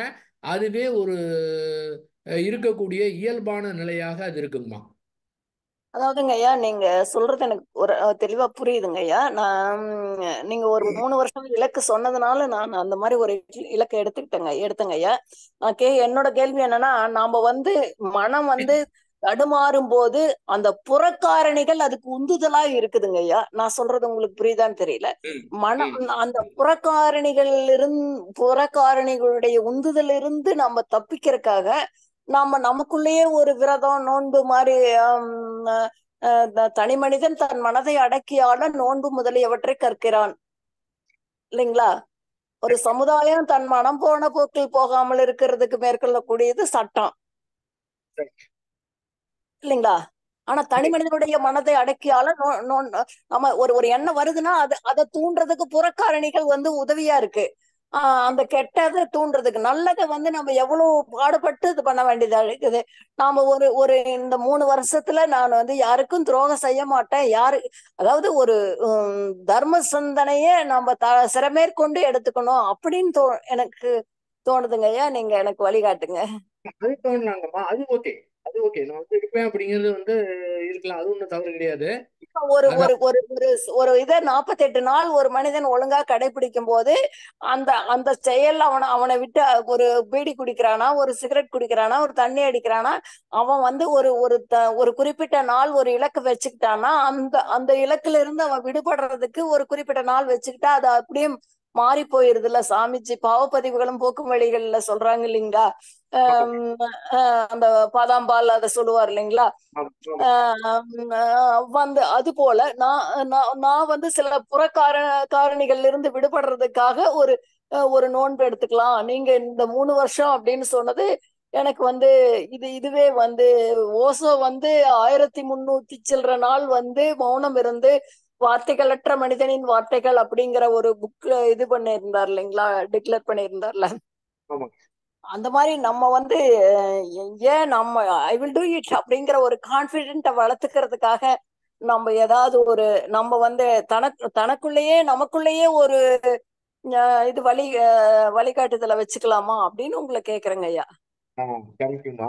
அதாவது இப்ப வந்து பாவப்பொருளும் போக்கும் வழியில் என்ன சொல்லியிருக்கிறாரு? இந்த மாதிரி நாற்பத்தி நாளுக்கு சாயந்தரம் தண்ணி போடுறாங்க அப்படின்னா அந்த தண்ணி போடுறதுக்கு அரை மணி நேரத்துக்கு முன்னாடி பாதாம் பால் வந்து குடிச்சிட்டா இது என்ன ஆகும் வயிறு நிரம்பிடும் இந்த ஒரு குறிப்பிட்ட நாட்கள் பிறகு இந்த செல்லுலாம் வந்து இந்த கேட்காம இந்த மாதிரி பாதாம் பால் பாதாம் பால் கேட்க ஆரம்பிச்சிடும் அப்படின்னு சொல்லுவாரு. இந்த இதுல ஒரே நாள் திரும்ப நீங்க தண்ணி போட்டா திரும்ப அது வந்து வந்துருங்க கரெக்ட் அது அது அதைத்தாங்க ஐயா சொல்றேன். இதுல தாங்க உலகமே இதுல தான் போராடிட்டு இருக்கு அதுவும் ஆன்மீகத்துலக்கும் ரொம்ப போராடிட்டு இருக்கிறாங்க தெளிவாக புரிந்து கொள்ளணும். என்ன அப்படின்னா அந்த மாதிரி ஒரு தீயமான தீய உணர்வு ஏற்பட்டதுன்னா அந்த உணர்வு ஏற்பட்டதுன்னா அதை வந்து நம்ம சரி செய்யவில்லை என்றால் நாம் செயல்ல இறங்கி விடுவோம் என்று அந்த தீய உணர்வை சரி பண்றதுக்கு முயற்சி பண்றாங்க. இங்கே நம்ம சொல்லக்கூடிய கருத்து என்னன்னா அந்த தீய உணர்வை ஆதரிக்க கூடாது. ஆதரிக்கிறதுனா ஆக இந்த மாதிரி தண்ணி போட்டோம் அப்படின்னா பழகிடுச்சு அது ஏற்கனவே இது அத்துணையும். இந்த மனோ லயன்னு சொல்றாங்க இந்த அபூர்வ அனுபவம் இந்த அற்புதமான அனுபவம் அத்துணி என்னன்னு கேட்டிங்கன்னா உடம்புல ஏற்படக்கூடிய ரசாயன மாற்றம். அந்த மாதிரி இருக்கும்போது அந்த உடலை ரசாயன மாற்றத்தை ஏற்படுத்தி அந்த மாதிரி உணர்வு ஃபீல் பண்ணுதுங்க. அப்போ உடல் கண்டிப்பாக தேவை. அப்படி பார்த்தோம்னா அத்துணையுமே உடல் அனுபவம் தான் இப்போ இந்த இடத்துல அந்த தண்ணி போடுங்கிற ஒரு தீங்கான ஒரு எண்ணம் இது வீட்டுக்கு கேடு நாட்டுக்கேடு எல்லாமே சிக்கல். இதுதான் அந்த அந்த போதையில்லா தமிழகத்தை உருவாக்கணும்னு சொன்னது காரணமும் அதுதான். அப்போ ஒருத்தருக்கு அந்த ஒரு எண்ணம் வந்து ஏற்பட்டு விட்டது. ஆனால் ஒன்று என்னன்னு கேட்டிங்கன்னா இந்த புரிதல் ஏற்பட்டவங்களுக்கு தான் இது ஒர்க் அவுட் ஆகும். அப்போ சரியாக புரிஞ்சுக்கணும். என்னன்னா அப்போ தண்ணி போடுங்கிற ஒரு எண்ணம் வந்தது. இந்த எண்ணத்தை வந்து ஆதரிக்கவும் கூடாது எதிர்க்கவும் கூடாது. ஆதரிக்க கூடாதுன்னா ஆகா அது வந்துடுச்சா அந்த எண்ணம் ஏற்பட்டவுடனே ஏற்கனவே உடம்புல இருக்கிற நரம்புகள்லாம் ஏற்படக்கூடிய ரசாயன மாற்றம் உடனே அது செயல்படுத்தலாம்னு தோணி செய்யலாமாங்கிற எ- எண்ணம் ஏற்படுத்தி அது சரி நாளையிலேருந்து கண்டிப்பாக தண்ணி போக மாட்டேன். இன்னைக்கு இன்னைக்கு தான் கடைசி. இனிமே தொடவே கூடாது. அப்படின்னு வைராக்கியம். என்ன வைராக்கியம்? நாளையிலேருந்து குடிக்கவே மாட்டேன். அப்படின்னு வைராக்கியமா இன்னைக்கு மட்டும் குடிச்சுக்கிறேன்னு ஒரு முடிவு எடுக்குது. இதுதான் அந்த எண்ணம் ஏற்பட்டவனே ஆதரவு கொடுக்கறதுங்கிறது அடுத்து இதுக்கு எதிர்க்கிறதுன்னா என்னன்னு கேட்டிங்கன்னா ஆகா இந்த மாதிரி என்ன வந்துருச்சா? நான் எத்தனையோ நாளாக சொல்லியிருக்கேன். என் ஒய்ஃபிட சத்தியம் பண்ணி கொடுத்துருக்கேன். நிச்சயமாக தண்ணியே போட மாட்டேன். இது வரக்கூடாது வரக்கூடாது வரக்கூடாது. அப்படின்னா இங்கேயும் போராட்டம் இருங்க ஆதரவு கொடுத்தாலும் போராட்டம் எதிர்த்தாலும் போராட்டம். ஆனால் அந்த எண்ணம் ஏற்பட்டதுக்கு பிறகு அதை அப்படியே கண்டுக்காம விட்டோம்னா அதனுடைய ஆயில் அரை வினாடி தான். இதுதான் புரிஞ்சுக்க சொல்றேன். அரை வினாடியே நீங்க அதை அப்படியே விட்டுட்டீங்கன்னா இப்ப என்ன ஆகும்? அது தானாகவே மறைஞ்சிரும். அது உடனடியாக செயல்படுத்தவில்லை என்றால் கூட இந்த கான்செப்டை மட்டும் புரிஞ்சுக்கிட்டோம்னா அது அரை வினாடியில் மறைஞ்சிடும் அதுக்கு பிறகு எவ்வளோ நாள் என்னமா இருந்தாலும் சரி அவங்க திரும்ப அந்த பக்கம் போகிறதுக்கு வாய்ப்பே கிடையாது. ஆனால் இது மட்டும்தான் முடியும். வேற வகையில் இருக்குன்னா ஒரு வருடம் இருக்கலாம் ரெண்டு வருடம் இருக்கலாம். திரும்ப வைராக்கியம் போகிறதுக்கு வாய்ப்பு இருக்குது திரும்ப தவறானதுக்கு போகிறதுக்கு வாய்ப்பு இருக்குது ஆனால் இந்த ஒன்றை புரிந்து கொண்டால் எப்போவுமே அவங்க இது பண்ண மாட்டாங்க. அதாவது இந்த இயல்பு தீய பழக்கங்கள்லாம் நம்முடைய இயல்பு. அந்த இதுவரை செய்தது கர்மவினின் காரணமாக இருக்கு. அந்த இயல்பை மாற்ற முடியாது. அவ்வளோ போராட்டமாக இருக்கும். ஆனால் இந்த கான்செப்டை புரிந்து கொண்டோம் என்றால் உணர்மனம் என்பது அந்த இயல்பு தான். சப்ளை பண்ணு அந்த இடத்துல நீங்கள் செய்யாமல் இருக்கவே முடியாது. இந்த இடத்துல அறிவை பயன்படுத்தணும். அந்த அறிவு சிறப்பாக செயல்படணும்னா இந்த உணர்வுகளை நம்ம சரி செய்ய தேவையில்லை என்று முடிவு எடுத்து விட்டோம் என்றால் இந்த உணர் மனதில் ஏற்படக்கூடிய மாற்றம் அடிமனதுக்கும் போயிட்டு அங்கேயும் மாற்றம் ஏற்பட்டு நம்முடைய இயல்பே வந்து வேற மாதிரி மாறிடும் நம்ம வந்து இப்போ நடந்துக்கணும் அப்படி நடந்துக்கணும் அப்படின்னு முயற்சியே செய்யாம நம்முடைய இயல்பு எல்லாமே நல்லதாவே இயல்பாகவே நல்லது. அந்த இந்த மாதிரி பண்ணணும் இந்த மாதிரி பண்ணணும் நம்ம வந்து ஒரு போராட கூட தேவையில்லை. நம்முடைய எது செஞ்சாலும் எண்ணக்கூடிய மங்களி சமம் சொல்லுவாங்க பார்த்தீங்களா? எண்ணக்கூடிய எண்ணங்கள் யாவும் நற்பயனாக மாறும்னு சொல்லுவாங்க பார்த்தீங்களா? அந்த மாதிரி நம்முடைய இயல்பே மாறக்கூடிய வல்லமை இருக்குது. இந்த கான்செப்டை மட்டும் புரிஞ்சுக்கிட்டாங்கம்மா. அதாவது நம்ம வந்து அமைதியா இருந்தா அந்த எண்ணம் அழிஞ்சு போயிடும் அதுக்கு அதுக்கு ரெஸ்பான்ஸ் கொடுக்காம இருந்தா அந்த எண்ணம் தானா அழிஞ்சு போயிடும்னு சொல்றீங்க இல்லைங்களாங்க ஐயா ஆமா அது அது எந்த விதமான முயற்சி அதாவது இதை பயன்படுத்தி இது செயலுக்கு வந்து என்ன பண்றதுன்னு அதனோட போராடி அதை சரி பண்றதுக்கு முயற்சி பண்ணாது. எதுங்க மனதை பொறுத்தவரை எந்த பிரச்சனையா இருந்தாலும் சரி செய்வதற்கு முயற்சி செய்யக்கூடாது. ஆனால் புறத்தில் இருக்கிற பிரச்சனைக்கு நாம் அறிவை கொண்டு ஏதாவது செய்தால் மட்டும்தான் சரியாகும். புறத்தில் ஏற்படக்கூடிய பிரச்சனையை வந்து அதாவது சரியாக போயிடணும் வெயிட் பண்ணக்கூடாது. அது ஒரு சவால் மாதிரி எடுத்துக்கிட்டு எப்படி அறிவை பயன்படுத்தி அதை என்ன மாதிரி காரியம் செய்து செயல் விளைவு தத்துவத்தை புரிந்து கொண்டு அந்த பிரச்சனை தீர்வு தீர்ப்பதற்கு முயற்சி பண்ணணும். அதை பொறுத்தவரை எந்த மாதிரி உணர்வுகள் எந்த மாதிரி அனுபவங்கள் எந்த மாதிரி உணர்ச்சிகள் வந்தாலும் அது சரி பண்ணுறதுக்கு முயற்சி செய்யாமல் அதை நீங்கள் அப்படியே ஏற்றுக்கிட்டிங்கன்னா அது அப்படியே உருண்டு ஓடிரும். நாம ஏத்துக்காம இருக்கும்போது எனக்கு ஏன் இப்படி வரலாம் இப்படி வரலான்னு அதை பிடிக்கும்போது அங்க தேக்கடைஞ்சிருது. தேக்கடைஞ்சாதான் நமக்கு பிரச்சனை வந்து அதிகமாகுது புறக்காரணிகளை நாம க கட்டுக்குள்ளதான் கொண்டு வரணும். அகக்காரணிகளை மட்டும்தான் நாம வந்து இயல்பா விடணும்னு சொல்றீங்க இல்லைங்களா? ஆமா ஆமாங்க ஆமாங்க. என்னுடைய நீங்க சொன்னதனுடைய இது சாராம்சம் இதுதான் இல்லைங்களா? ஆமாங்க. அப்ப இந்த மகத்தை நீங்க விட்டுட்டீங்கன்னா புறத்துல நீங்க என்ன பார்க்க என்ன வந்து எதிர்பார்க்கலையோ அதுக்கு உண்டான செயலை செய்யக்கூடிய வல்லமை எல்லாம் வந்து ஈஸியா கிடைச்சிருக்குமா இல்லைன்னா ரொம்ப கஷ்டப்படணும். புரியுது புரியுது. அந்த தண்ணி போடுறவனுக்கு அந்த ஃப்ரெண்ட் வந்தா கூட அந்த ஃப்ரெண்டை நெக்லெக்ட் பண்ணக்கூடிய ஒரு கெப்பாசிட்டி வந்துரும். வந்துடும் ஆமாங்க. அந்த அளவுக்கு ஒரு தெளிவு. ஏன்னா நேரடியா வந்து ரெண்டு மூணு பேர் என்கிட்ட வந்து இந்த மாதிரி பேசி அவங்க வந்து அதுக்கப்புறம் அந்த பக்கம் போறதே கிடையாதுங்க. ரொம்ப மகிழ்ச்சியா வந்து சொன்னாங்க. இது தவிர இல்லைன்னா வந்து அது கண்டினியூ ஆகிட்டே இருக்குங்க. பாருங்க எக்ஸாம்பிளுக்காக நான் அத தண்ணின்னு சொன்னேங்க என்கிட்ட அது மாதிரி பேர் மூணு நாலு பேர் அது மாதிரி இது பண்ணி அதை விட்டுட்டாங்கம்மா. என்னுடைய பேச்சுல ஒரு தெளிவு புரிதல் இருக்குதாங்க ஐயா? எப்படிங்கம்மா? என்னுடைய பேச்சுல ஒரு தெளிவும் புரிதலும் இருக்கா? தெளிவு இருக்கு ஒரு ஏக்கமும் இருக்கு அந்த நிலையை அடையணும் ஒரு தனியாத தாகம் இருக்குது. ஆமாங்க ஐயா. நீங்க இருக்கிற நிலையே நல்ல நிலைன்னு தான் சொல்றேன் நானு. நீங்க கேட்க மாட்டீங்க. சாதாரண மனிதன் இதே வேதாத்திரி மகரிஷி அவங்க சொன்னா நீங்க நம்புவீங்கல்ல? ஆமாங்க ஐயா. ஆ சரிங்க. ஒரு பத்து நாள்ல வந்து மகரிஷி அவங்களே உங்க கனவுல வந்து நான் சொல்ல சொல்றேங்க நானு.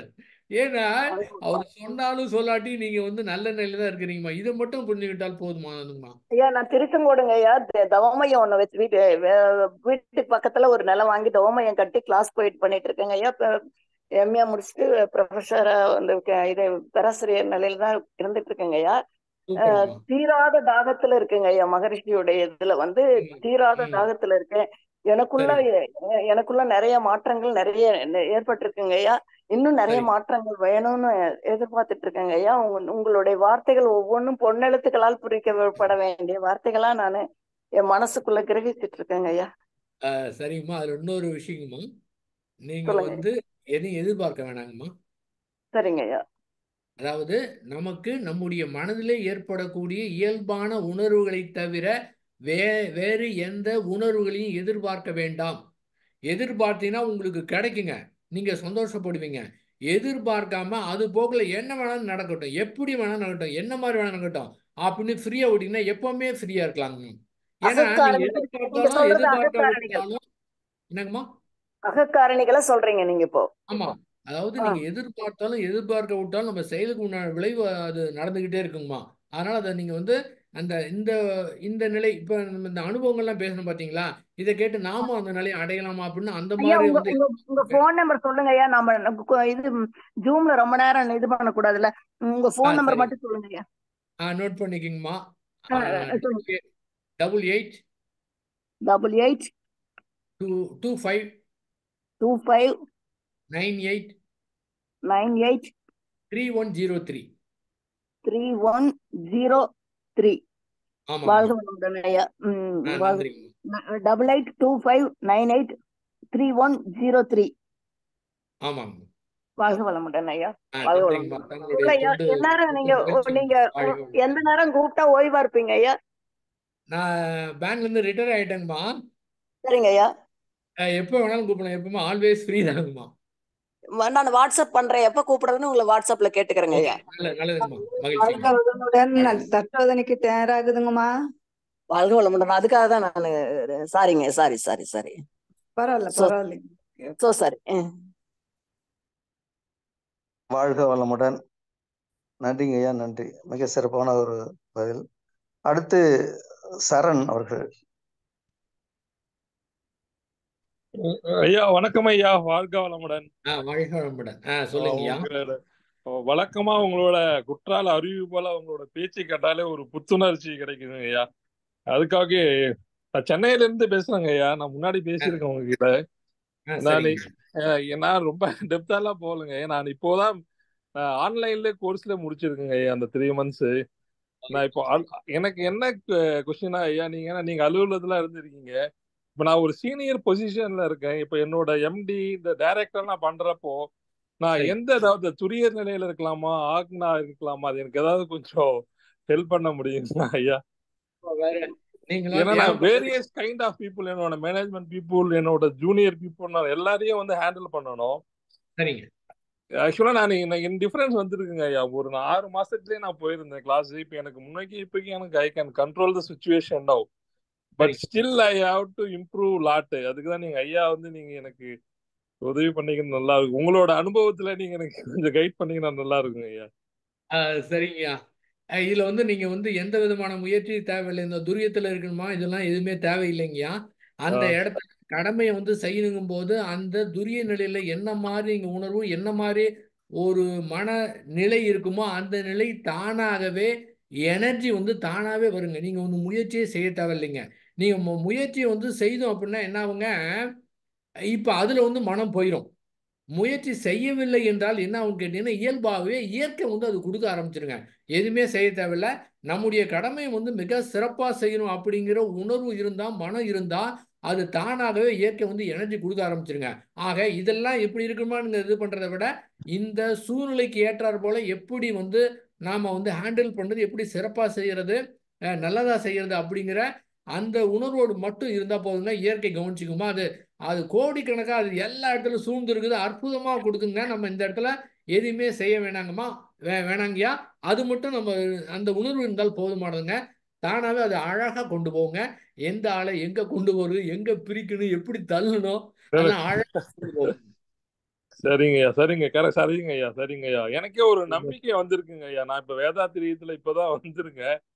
பட் இன்னும் நிறைய பண்ணணுங்க ஐயா. ஐயாவோட சொற்பொழிவு எல்லாம் அடிக்கடி கேட்டுட்டு இருப்பேன் யூடியூப்லயே வந்து.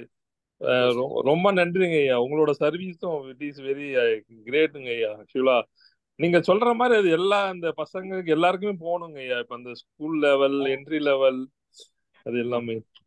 ரொம்ப நன்றிங்க ஐயா. உங்களோட தொன்று மென்மேலும் சிறக்க வாழ்த்துக்கள் ஐயா. வாழ்த்துக்கள். வாழ்க வளமுடன் ஐயா. வாழ்க வளமுடன். நன்றிங்க ஐயா.